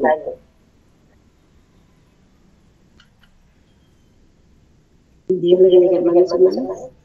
Amén, hermana Erika. Dios le bendiga la lectura. Continuamos compartiendo en esta hermosa tarde este glorioso mensaje titulado El Edén de Satanás. Servicio realizado en Jeffersonville, Indiana, Estados Unidos, el día 29 de agosto del año 1965. Continuando con la lectura, vamos a repetir el párrafo 20, estaba un poquito oscuro. Dice, fíjense cuando vino Jesús. Ven, Satanás estaba en ese grupo de maestros judíos y rabíes y sacerdotes, tratando de decirles que guardasen la ley de Moisés, cuando la misma palabra decía que en ese mismo día el Hijo del Hombre sería revelado. Ven, que Él se revelaría a sí mismo. Así que ellos estaban tratando con tal de que los mantuvieran religiosos y enfocados en la ley de Moisés. Ve lo que Él hizo estaba tratando de decirles, esa parte de la palabra es exactamente la verdad, mas este hombre no es esa persona. Ven cuán engañador es él. Es aquel genuino día del engaño. Párrafo 21. Ha sido y ahora es Satanás estableciendo su reino en la tierra eso es exactamente el por qué Él lo está haciendo, porque Él desea establecer su propio reino. Como un hombre de negocios que no sea un cristiano, Él buscará toda treta que pueda para hacerle a usted ver algo de modo erróneo. Si Él tiene un propósito y una ganancia personal al hacerle a usted hacer eso, haciéndole ver el asunto desviado de esa forma, él le mostrará todo lo que puede y lo mantendrá desviado de la verdad del asunto, por cuanto Él se preocupa solo por sí mismo. No importa cuánto Él mienta y engañe y todo lo demás, es que tiene una ganancia personal. 22. Y por eso es que Satanás ha hecho esto y Él ha obrado a través del ministerio para hacerlo, según Dios prometió que Él haría. Ahora, Él comenzó con un engaño religioso allá en el Edén y ha continuado desde entonces, no preparando un grupo de comunistas. Los comunistas no tienen nada que ver con esto. Es la iglesia. Ahí es donde uno tiene que vigilar. Ven, no son los comunistas los que engañarán a los elegidos. Es la iglesia la que engañará a los escogidos. Ven, no son los comunistas. Sabemos que ellos niegan a Dios y son anticristos. Seguro que lo son. En cuanto a principios, pero ellos no son el anticristo. El anticristo es religioso, muy religioso y puede citar la escritura y hacerla parecer tan clara como Satanás hizo allá en el principio. Él lo citó todo. Hasta Dios ha dicho, no comeréis de todo árbol en el huerto. Ven, lo citó. Ella dijo, sí, podemos comer de todos los árboles del huerto, mas hay un árbol en medio del huerto que Dios ha dicho que no comamos de él, ni que lo toquemos, porque el día que lo hagamos, ese día moriremos. Párrafo 23. Él dijo, oh, seguramente no moriréis mas déjame darte la razón por qué Dios ha dicho esto. Es porque, ven, Él, ahora lo que Él citó fue la verdad, ven ustedes. Él dijo, te abrirá los ojos y te hará conocer el bien y el mal. Pues entonces serás como Dios si lo puedes hacer. Eso es exactamente lo que Él quería hacer y es la misma cosa que está tratando de hacer hoy. ha sido un engaño religioso desde el mero principio en el Edén y así ha sido desde entonces. En el tiempo de Adán fue un engaño, en el tiempo de Noé fue un engaño, en el tiempo de Jesús fue lo mismo y ahora es lo mismo, es la misma forma, un engaño religioso. Ahora, notaremos la tierra cuando Dios la tenía bajo control Ahora, cuando Dios la tenía bajo su control, luego cuando Satanás tomó posesión al rechazar la palabra de Dios, en un tiempo Dios tenía la tierra bajo su control. Él la puso en órbita, la puso a funcionar. Él lo hizo todo, la tuvo en su control. Ahora, compararemos eso con después que Satanás la tomó su control. Párrafo 25.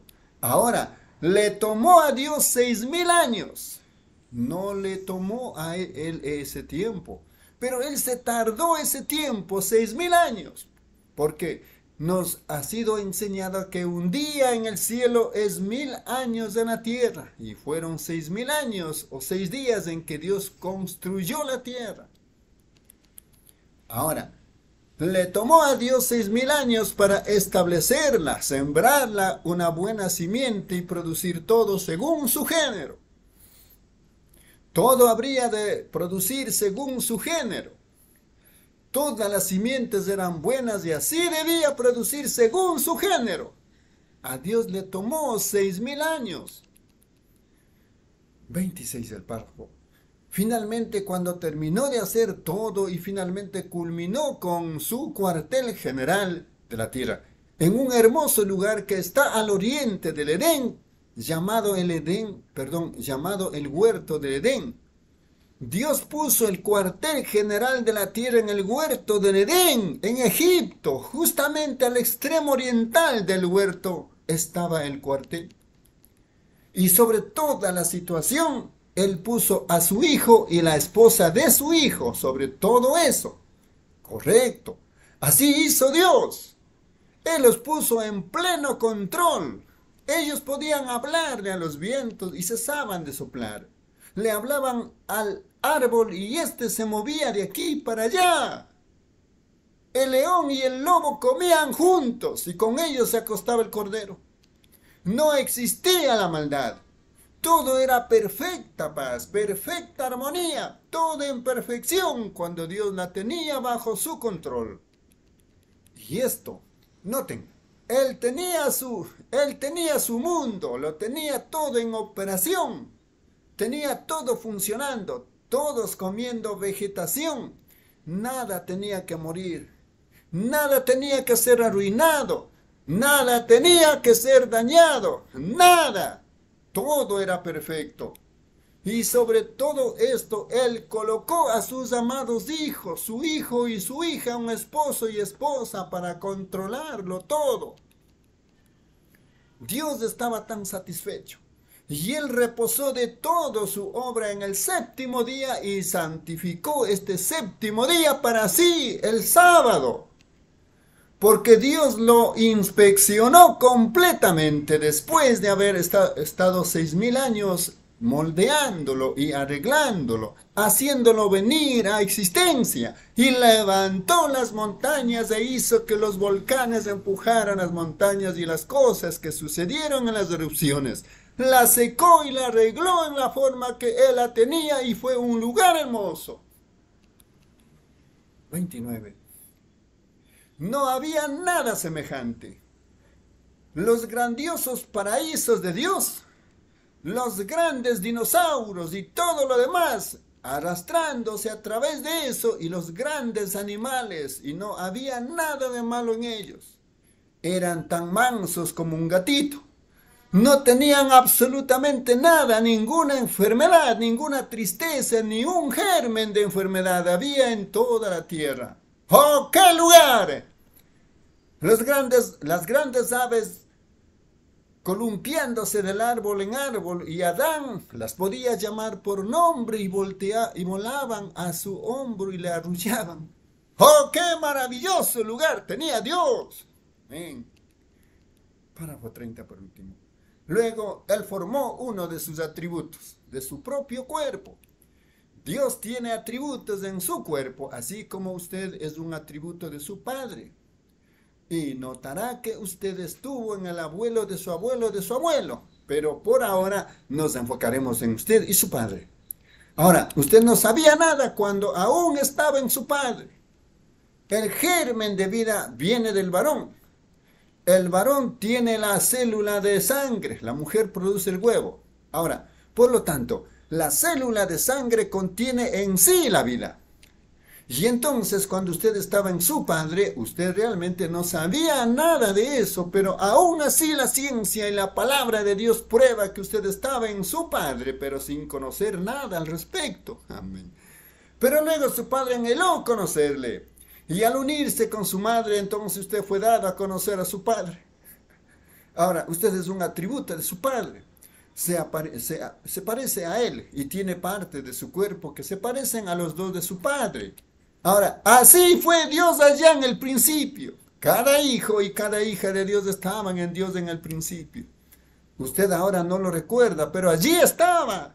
Él lo sabía y él deseó que usted llegara a manifestarse para así él poder hacer contacto con usted, hablar con usted y amarle y darle un apretón de manos. Gloria a Dios. Amén, amén. Amén, mis amados hermanos y hermanas. Estamos lecturando y compartiendo este hermoso mensaje titulado El Edén de Satanás, servicio realizado en Jeffersonville, Indiana, Estados Unidos, el día 29 de agosto del año 1965. A continuación, hermana Reina, por favor, en los párrafos 31 al 40. Amén. Amén. Dios le bendiga, hermanos, y hermanas. Continuamos con la lectura del mensaje El Edén de Satanás. Párrafo 31.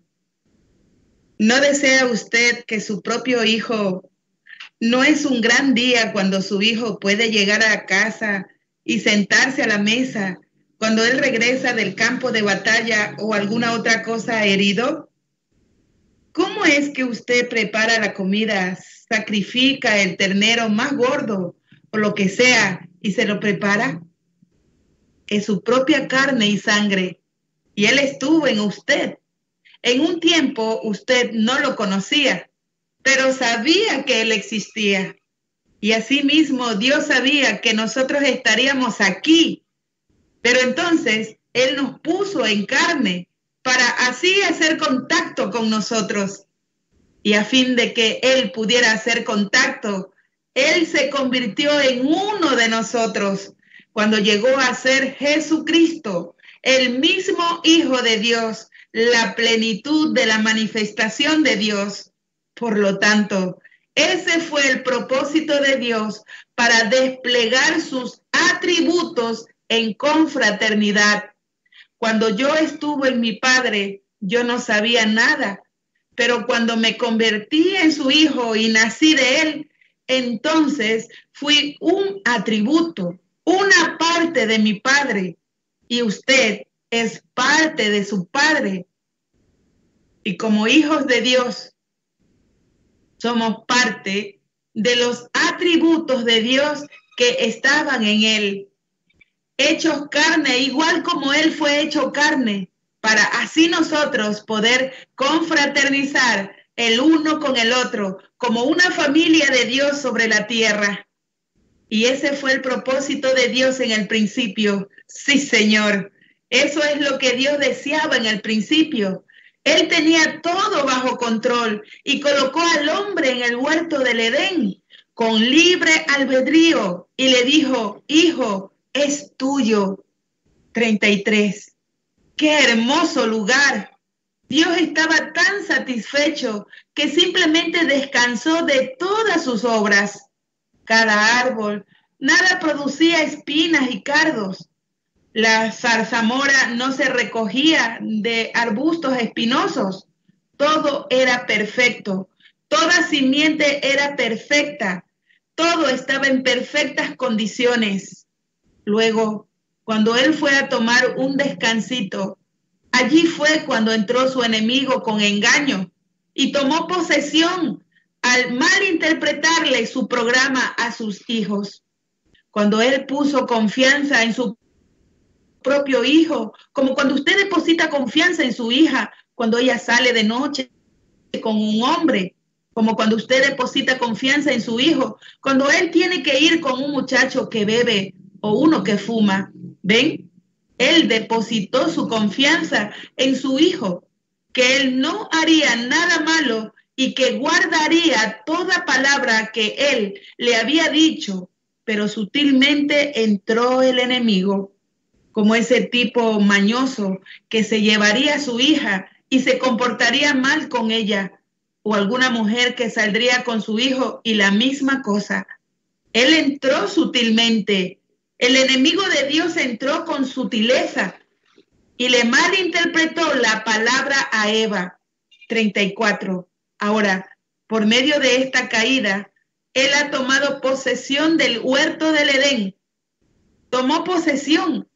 Y ahora él ha tenido seis mil años de señorío engañoso engañando a la gente, a los hijos de Dios, igual como hizo allá, por cuanto estaban en libre albedrío para actuar como quisieran y creyendo que ellos se portarían bien o confiando que actuarían correctamente.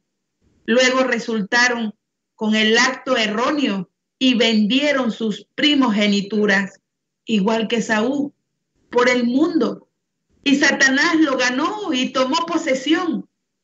Y él ha tenido seis mil años para construir su Edén, igual como Dios tuvo seis mil años para traer su Edén a una conclusión.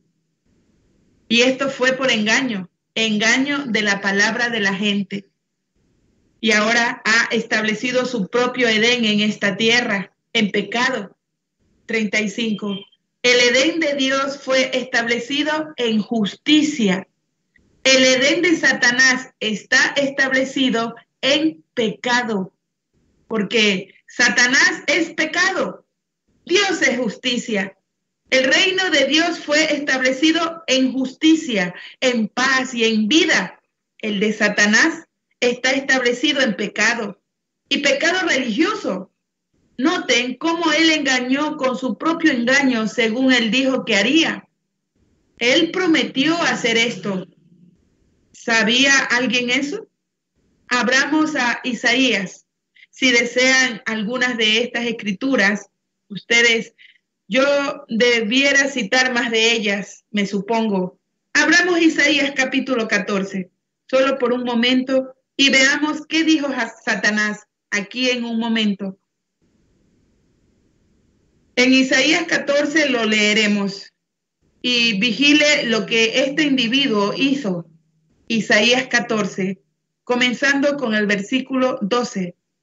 ¿Cómo caíste del cielo, oh lucero, hijo de la mañana? Cortado fuiste por tierra, tú que debilitabas las naciones, tú que decías en tu corazón, subiré al cielo, en lo alto, junto a las estrellas, esos son hijos, las estrellas de Dios, levantaré mi trono y en el monte del testimonio me sentaré. A los lados del norte, sobre las alturas de las nubes subiré y seré semejante al Altísimo. Ahora, compare eso con las otras escrituras en Tesalonicenses hace unos momentos, como él dijo que se sienta en él en el templo de Dios, exaltándose sobre todo lo que se llama Dios. Así que él, como Dios, es adorado como Dios sobre la tierra.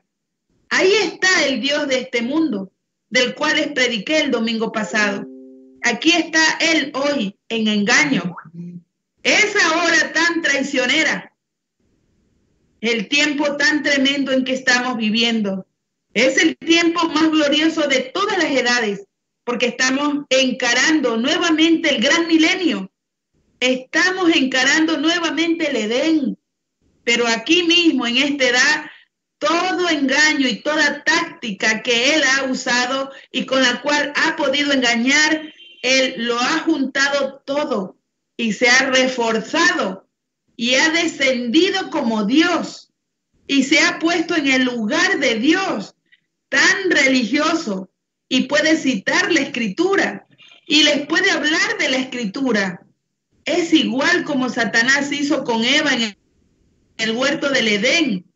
Pero con todo eso, si él elimina una sola palabra, es todo lo que él tiene que hacer. Y allí está el hueco por donde puede entrar libremente la doctrina venenosa del diablo, como con el filtro del hombre que piensa, como hablábamos la otra noche, 37.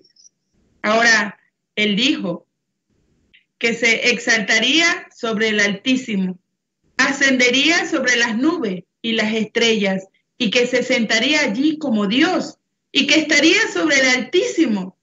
Y él ha tenido éxito en realizar sus amenazas. A la verdad, él ha tenido un éxito maravilloso al realizar sus amenazas y eso ha sido por causa de que la gente en cada edad le ha permitido explicar hasta la nada el valor de la palabra de Dios prometida a esa edad. Así es exactamente como Él lo ha hecho. En cada edad Él la ha explicado hasta dejarla en cero. 38.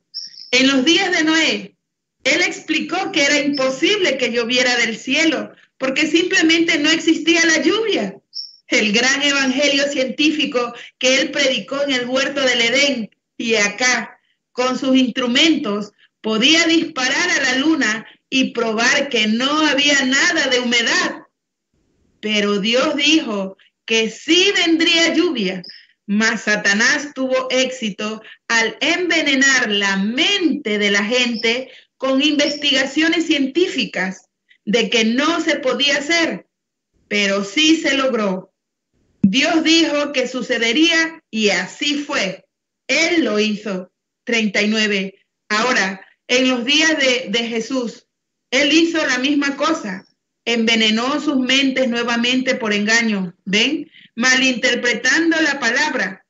Si tú en realidad eres el Hijo de Dios, Ahora, déjame verte hacer algo.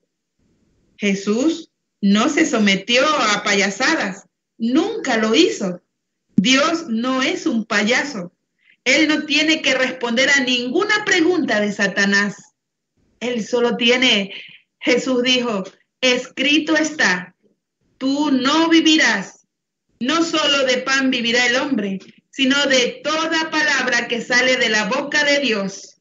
Él no tuvo que payasear para él, no tuvo que hacer el pan.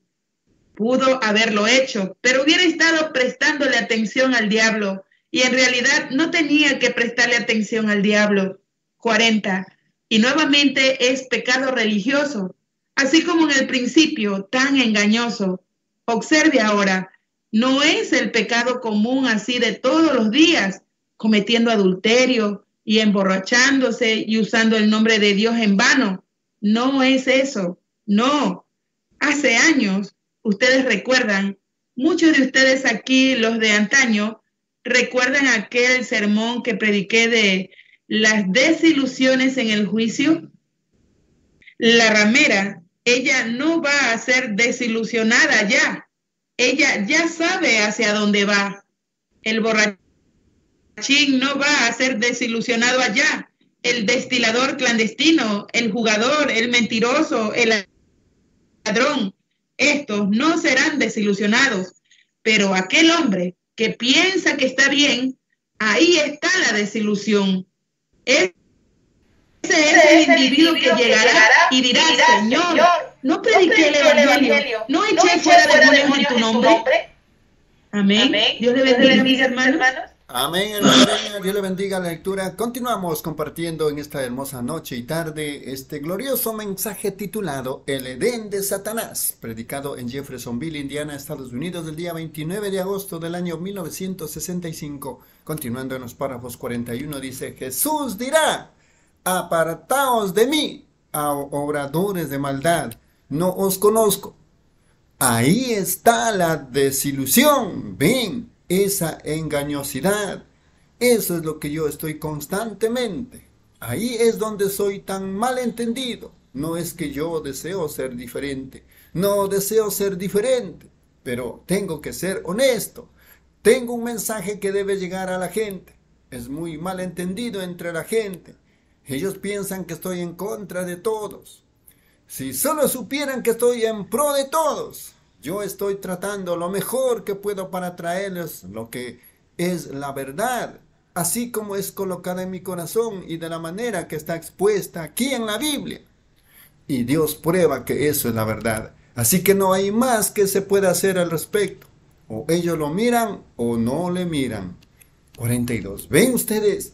Es que ellos no desean verlo porque ya están liquidados.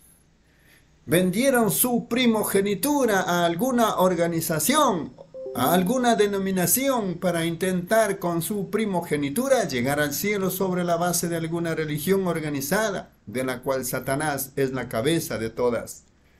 Dios nunca tuvo una religión organizada, nunca lo tuvo. Y ellos se venden a eso, donde ellos donde un grupo de hombres interpretan la palabra y dicen que significa esto y significa aquello. Dios no necesita intérprete, Él interpreta por sí mismo. No necesita a nadie más que le diga cómo hacerlo. Él es soberano. Él dijo cómo lo haría y así es como Él debe guardar su palabra. Cuando él dice, estas señales seguirán a los que creen, él quiso decir eso mismo, lo que sea que él dijo que ocurriría en estos días finales, que él haría ciertas cosas y él las ha hecho. No tiene que preguntarle a nadie si es el tiempo o no. Él sabe qué hora es y lo que es el plan. 43. Ahora, Satanás, este engañador, mencionado en Mateo 24, 24, con tanto engaño.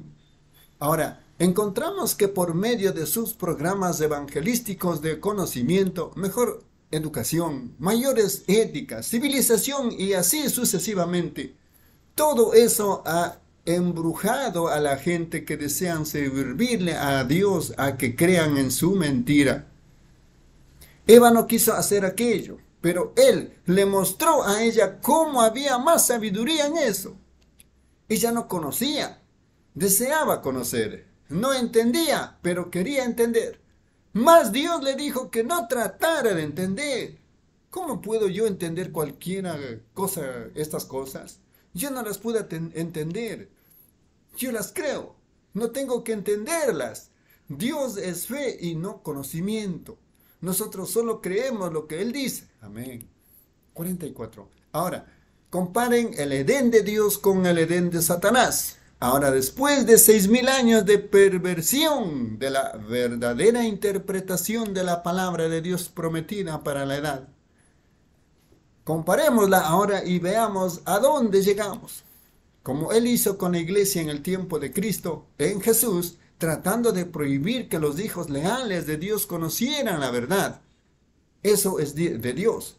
Dios colocó a sus hijos aquí, sus atributos, para confraternizar con Él al oír su palabra. ¿Qué si su padre le dijera a usted, usted siendo un hijo leal a su padre, y él le dijese, hijo, no entres a nadar en aquella agua porque ahí hay cocodrilos? Y un individuo aparece y dice, seguramente en agua tan hermosa como esa no podrá haber cocodrilos. Ahora, ¿a quién le va a prestar atención? Si es un hijo genuino, escuchará a su padre. Y un hijo genuino, una hija genuina de Dios, primero toma la palabra de Dios. A mí no me importa lo que cualquier otro diga. Ellos toman la palabra de Dios primero. Hay veneno en la copa y ellos lo creen.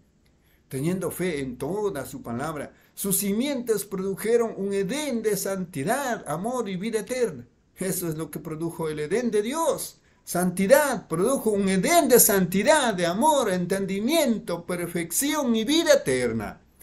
Eso es lo que Dios está sembrando. Su palabra, su simiente, eso es lo que su iglesia será al final. Será la misma cosa. 46. Noten, aquí hay un pensamiento. No lo olviden.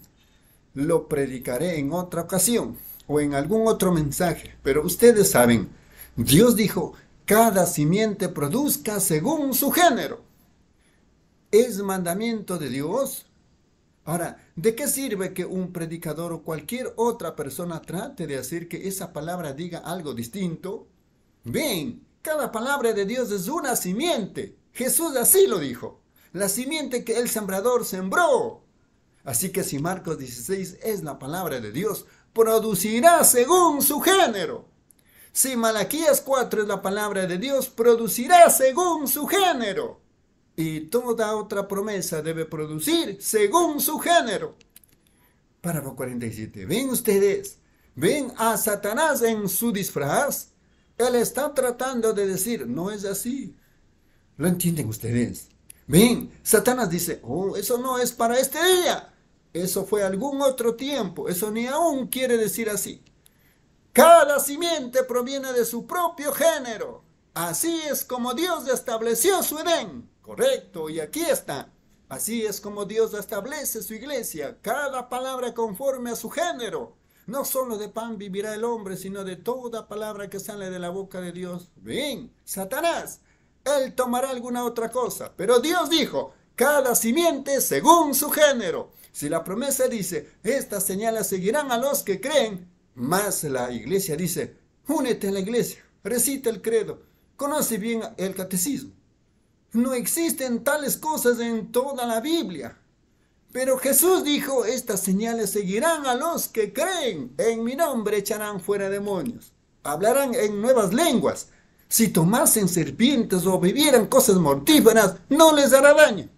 Si pusieran sus manos sobre los enfermos, sanarán. ¿Quién es el hombre que se atreve a negar eso? Bien. 48. Cada simiente producirá según su género. Si usted es simiente de Dios, un atributo, un hijo de Dios, entonces la palabra de Dios está sembrada en usted. Ve. Y entonces cuando usted escucha la palabra de Dios, mis ovejas oyen mi voz. A los extraños no seguirán. ¿Lo captan? Así que cada simiente produce según su género. Amén. Párrafo 49. Ahora, hallamos que al producir cada simiente según su género, no había nada de muerte en aquel Edén. No habrá muerte en el nuevo Edén. Ven, no había otra cosa sino santidad, pureza y vida eterna. Ahora, por incredulidad hacía toda la palabra de Dios. Eso ha producido la simiente de impiedad en el Edén de Satanás estamos entrando ahora en donde Satanás está tomando el trono como el anticristo en un Edén de esta tierra, un Edén de pecado, la religión pervertida. Él no comenzó con yo soy Satanás, yo soy el gran ángel. No, no sobre eso, sino a base de pervertir la palabra de Dios. Y así es como Él ha traído su reino en cada edad. Y ahora está en gran edad, en esta gran edad engañosa, está listo para tomar su trono por medio de su pueblo. Él mismo se ha construido un Edén intelectual, educado y científico. Correcto. Predicadores científicos, iglesia científica, teología científica, todo es científico. Todo es a base de conocimiento. La iglesia por completo está edificada sobre el conocimiento, no está edificada sobre fe. Párrafo 50 por último. En una ocasión fui a predicar una serie de cultos en la iglesia de un hombre. Era un gran auditorio en el oeste, un hombre muy fino, y él negaba estas cosas de las cuales hablamos. Sin embargo, me agradaba un hombre fino, un anciano. Cuando su congregación salió y allí se podía acomodar ser cerca de seis mil personas. Cuando su congregación salió en el servicio de la tarde como 1500, todos eran intelectuales muy bien vestidos y me senté allí y los observé. El hombre predicó un buen sermón y entonces preguntó si alguien deseaba aceptar a Cristo, que solo levantara su mano. Nadie levantó su mano. Por fin una mujer levantó su mano. Él dijo, muy bien, ahora id, es una cristiana y la preparó para bautismo. Y cuando él salió, dedicó un niñito, besó al pequeño e hizo una oración sobre él y despidió la audiencia. Amén, amados hermanos y hermanas, estamos lecturando en esta hermosa tarde y compartiendo la lectura de este mensaje titulado El Edén de Satanás, servicio realizado en Jeffersonville, Indiana, Estados Unidos, del día 29 de agosto del año 1965. Continuando con la lectura, hermana Reina, en los párrafos 51 al 60. Amén, amén. Dios le bendiga. a mis hermanos, continuamos con la lectura del mensaje El Edén de Satanás, párrafo 51. Cuando salió su congregación, toda gente buena, eruditos y educados, y yo estaba parado por el lado para darle un apretón de mano al hombre y desearle la ayuda de Dios mientras él salía. Y al estar allí, aquí venía mi grupo. No lo pudieron dejar entrar mientras su grupo estaba allí. Aquí venían los míos en sillas de ruedas, camillas, camisas de fuerza, locos y todo lo demás. ¿Ven ustedes la diferencia? Eso es. Esa es la cosa de la cual estoy hablando. ¿Ven? ¿Ven? Es algo diferente. 52.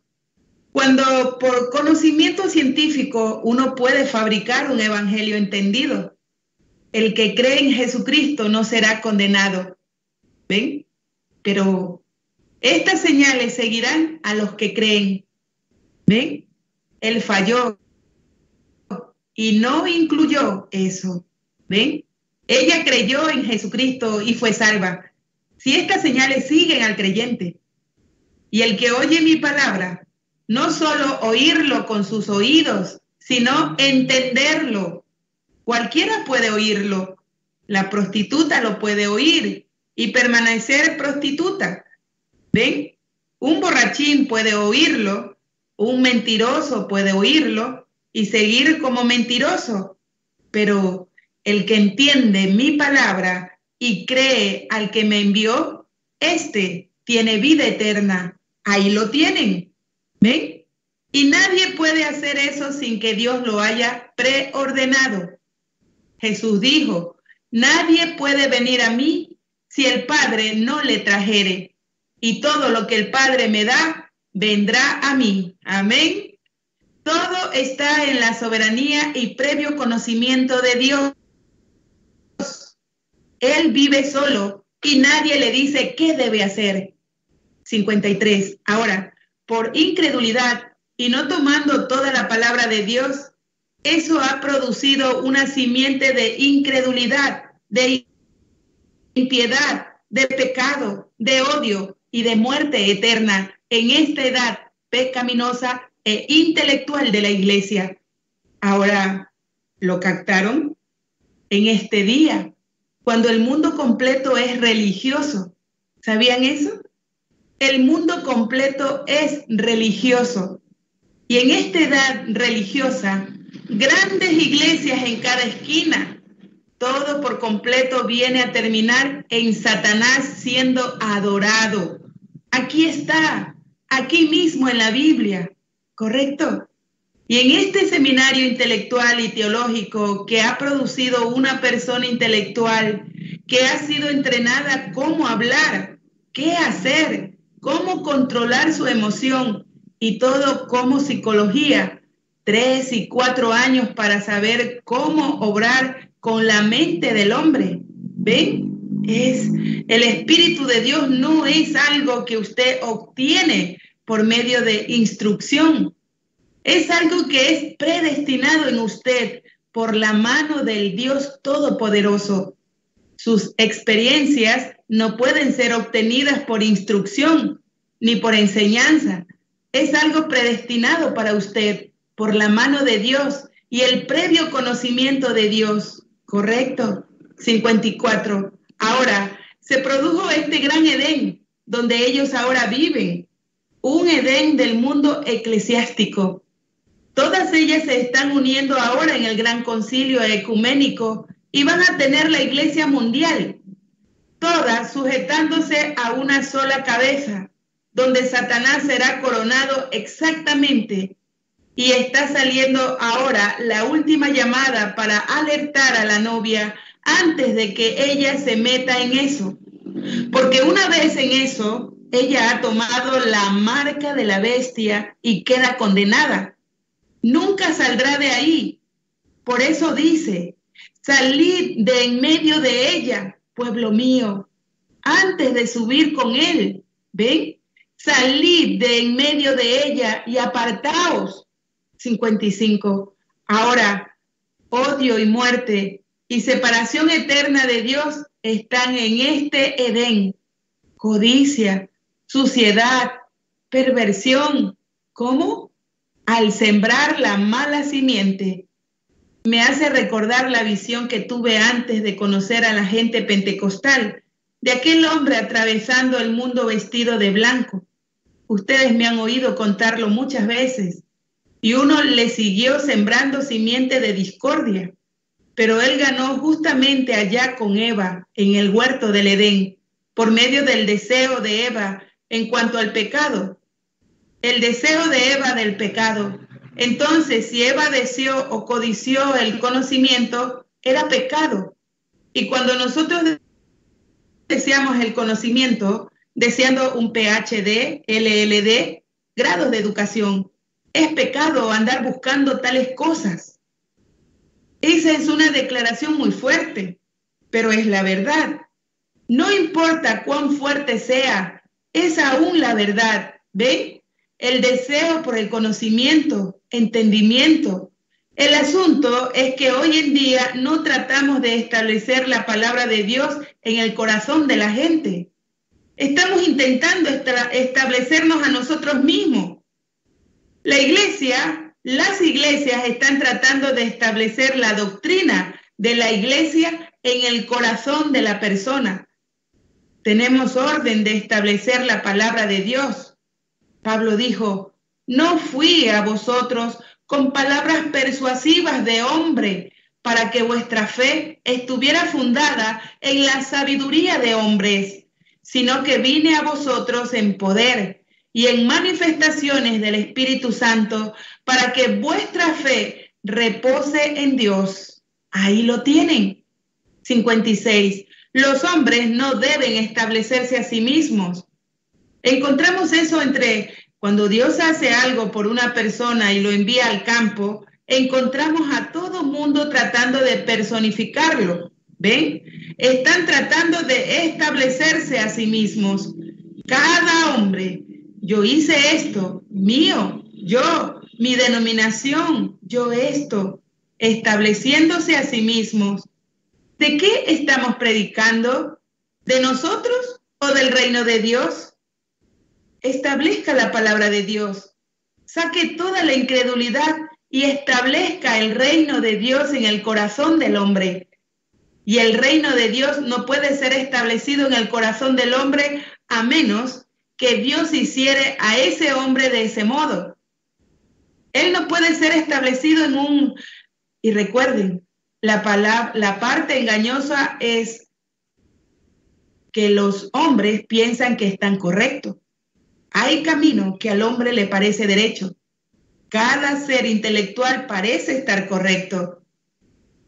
Como yo les dije hace unos domingos atrás, cuando yo me paré al lado de mi niña moribunda, y Satanás allí estaba y dijo, allá está tu papá. ¿Quién murió en tus brazos la otra noche? Allí está tu esposa, amortajada en la funeraria, y aquí está tu niña muriendo. Y tú le pediste a él que te contestara, y él ha bajado la cortina sobre ti, y aún insistes. Él es un Dios bueno, y a pesar de todo eso dijiste que él era un sanador y tú que estás parado por lo que has dicho que es correcto, estás muy errado. Oh, toda razón, toda facultad mental tenía que estar de acuerdo que eso era cierto. Y él sí tenía razón en esa parte. Así también estaba correcto cuando le dijo a Eva, vuestros ojos serán abiertos y conoceréis el bien y el mal y seréis como dioses en esa forma conociendo el bien y el mal, por cuanto Dios aún no les había dejado reconocer que estaban desnudos. Así que ellos supieron que conocerían el bien y del mal. Y él estaba correcto. Pero vean ustedes, era contrario a la palabra de Dios. 58. Y así hacen los ministros en los seminarios. aprendiendo teología hecha por el hombre. Puede parecer correcto, puede ser un buen entendimiento de la cosa, pero está errado. Nosotros no tenemos que entenderla, la creemos porque Dios dijo que así es y eso lo concluye para siempre. El asunto completo. Esa es la forma en que nosotros lo creemos. Oh, ¿cómo codició Eva tener un grado de PhD? ¿Cómo codició ella ser más inteligente de lo que era? Noten cuán parecidos el hombre y su esposa. Ahora noten, el hombre y la mujer ambos desnudos en el huerto del Edén, el Edén de Dios. Ahora, ya voy a concluir. Dije que no los iba a retener más que unos cuantos minutos. Observen ahora, concluyendo. Comparen esto ahora. Cuán parecidos eran el hombre y su esposa. Ambos en el Edén de Dios, sin nada de ropa, y no lo sabían. ¿Por qué no lo sabían? por cuanto su desnudez estaba velada a sus sentidos por el velo santo del Espíritu Santo. Podían mirarse el uno al otro y no sabían que estaban desnudos. Estaban velados con el Espíritu Santo de santidad. Estaban velados. 60. Velados por Dios. Aún hoy pueden mirar y no codiciar. Voltean la cabeza. Es un velo santo un velo santo. Dios poseía sus ojos. Ambos estaban. Uno era hombre y la otra mujer. Y no sabían que estaban desnudos, porque la santidad de Dios mantuvo sus ojos velados. Noten, Dios ocultó sus conciencias del pecado por el velo santo. Ojalá tuviéramos tiempo para estudiar eso por unos minutos. Fíjense aquí, porque él, el adorador una vez purgado, Hebreos, el adorador una vez purgado no tiene más conciencia de pecado. El pecado, es quitado de él. Amén. Dios le bendiga, mis hermanos. Amén, hermano. Dios le bendiga. Estamos compartiendo en esta tarde y noche este glorioso mensaje titulado El Edén de Satanás, servicio realizado en Jeffersonville, Indiana, Estados Unidos, día 29 de agosto del año 1965. Continuando con la lectura en los párrafos 61 dice, en esta mañana escuché al hermano Neville decir, alguien posiblemente hubiese estado preguntándole, ¿por qué yo no predicaba sobre el Espíritu Santo? ¿Por qué no hacía esto? Aquí está. El Espíritu Santo es una acción en usted, es una vida, no una emoción, ni cierta clase de evidencia carnal, sino que es una persona, Jesucristo, la palabra de Dios establecida en su corazón para vivificar toda palabra de esta edad. Correcto. Observe al Espíritu Santo en acción, no tanto en demostración, sino en acción, lo que hace conforme a la palabra. Amén. 62. Noten ahora, el Espíritu Santo de la Santa Palabra de Dios tenía a un hombre y a una mujer desnudos y estos no lo sabían. Qué hermosa la vida de la palabra, la simiente, la palabra.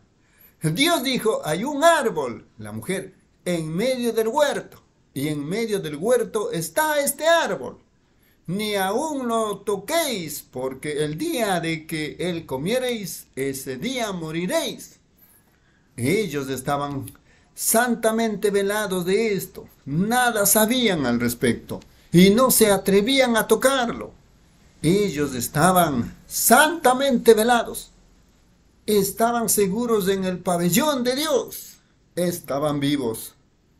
No había nada de muerte a su alrededor. Aleluya. Tenían un amor perfecto el uno para el otro, con el otro. Y vida perfecta para siempre. Tenían amor perfecto, tenían perfecto entendimiento del amor de Dios, tenían la palabra de Dios y la guardaban y estaban vivos y seguros en el Edén de Dios, sin nada de muerte en ninguna parte. 63.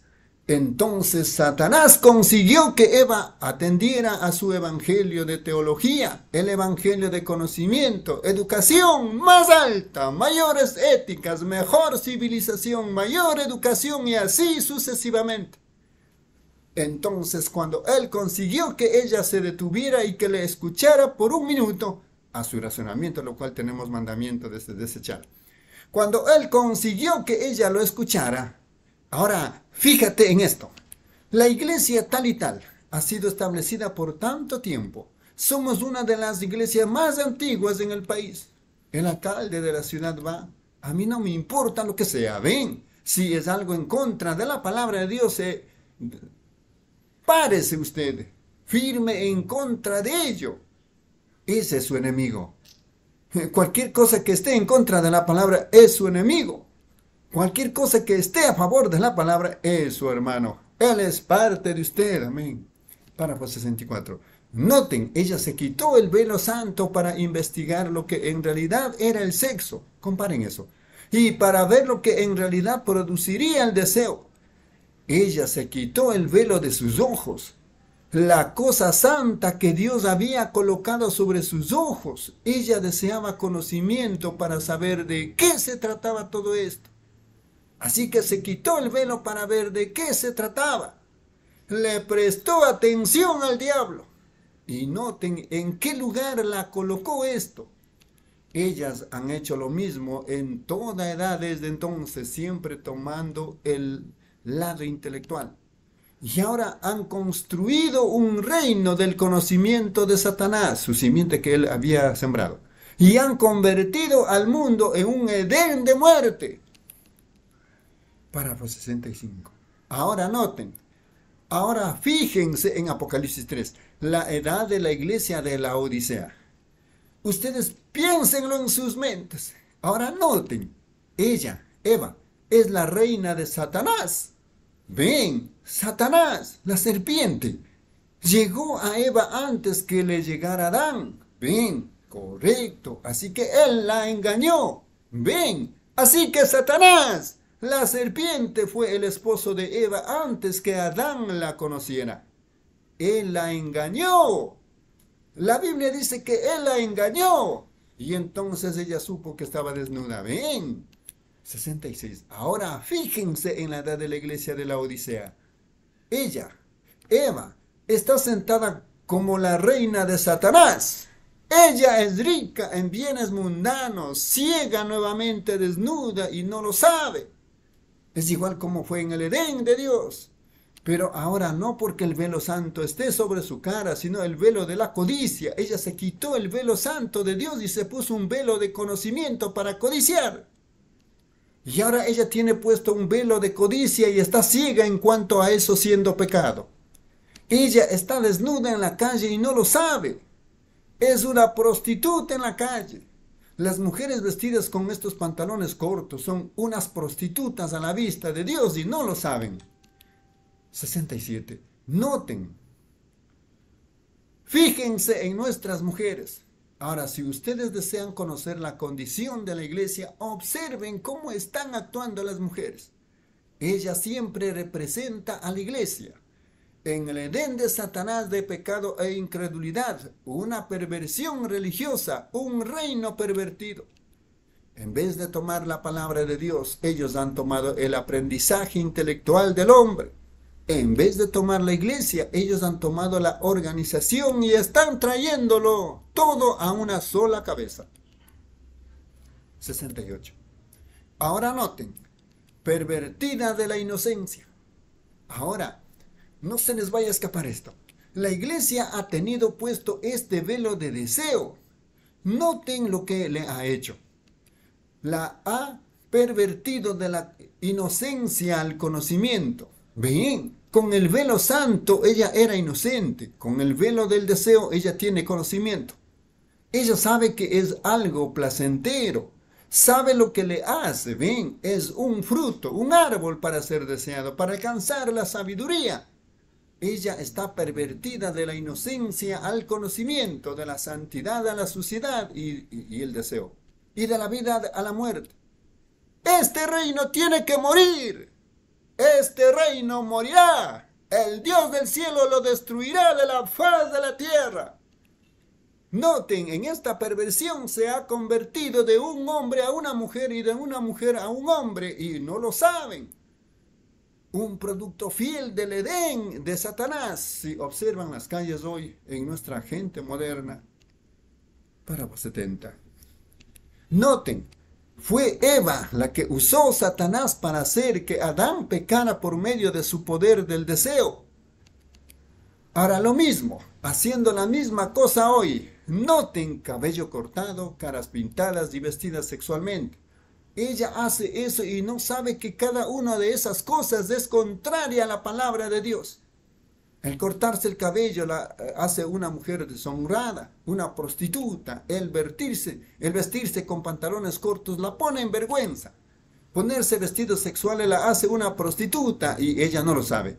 No por causa de la santidad de Dios, sino por causa de la codicia de Satanás.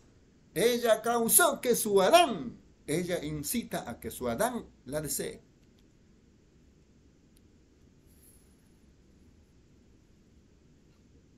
Amén. Amén, mis amados hermanos y hermanas. Por el tiempo vamos a concluir con compartiendo la lectura de este glorioso mensaje. Si Dios permite, el día de mañana continuaremos a partir de los párrafos 71 de este mensaje titulado El Edén de Satanás servicio realizado en Jeffersonville, Indiana, Estados Unidos, del día 29 de agosto del año 1965.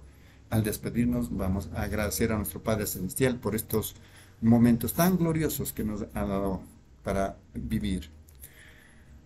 Señor Dios Todopoderoso, Señor Jesús, amado Padre Celestial, te damos muchas gracias por habernos guardado, Señor, esta gloriosa palabra hasta el final de este tiempo.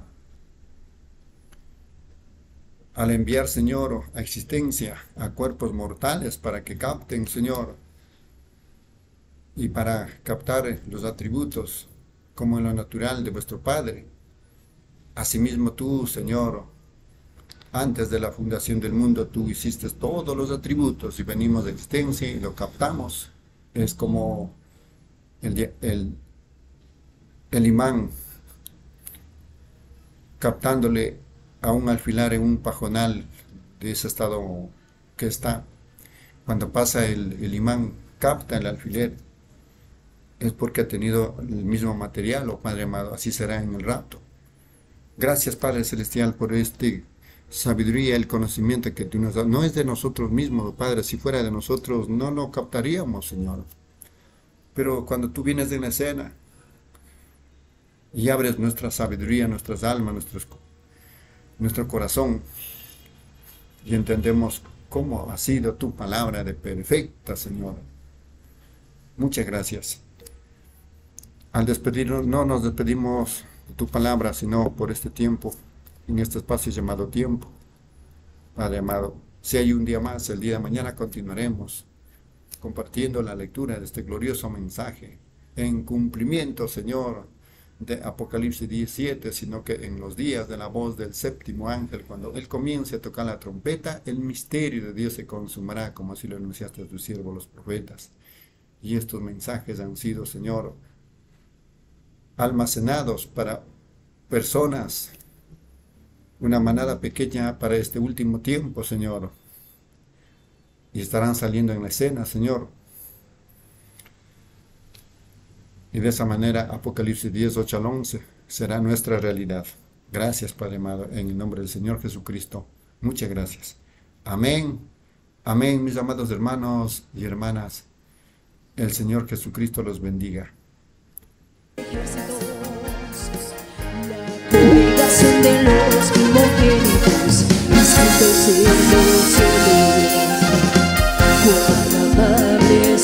Tus moradas, oh Jehová de los ejércitos,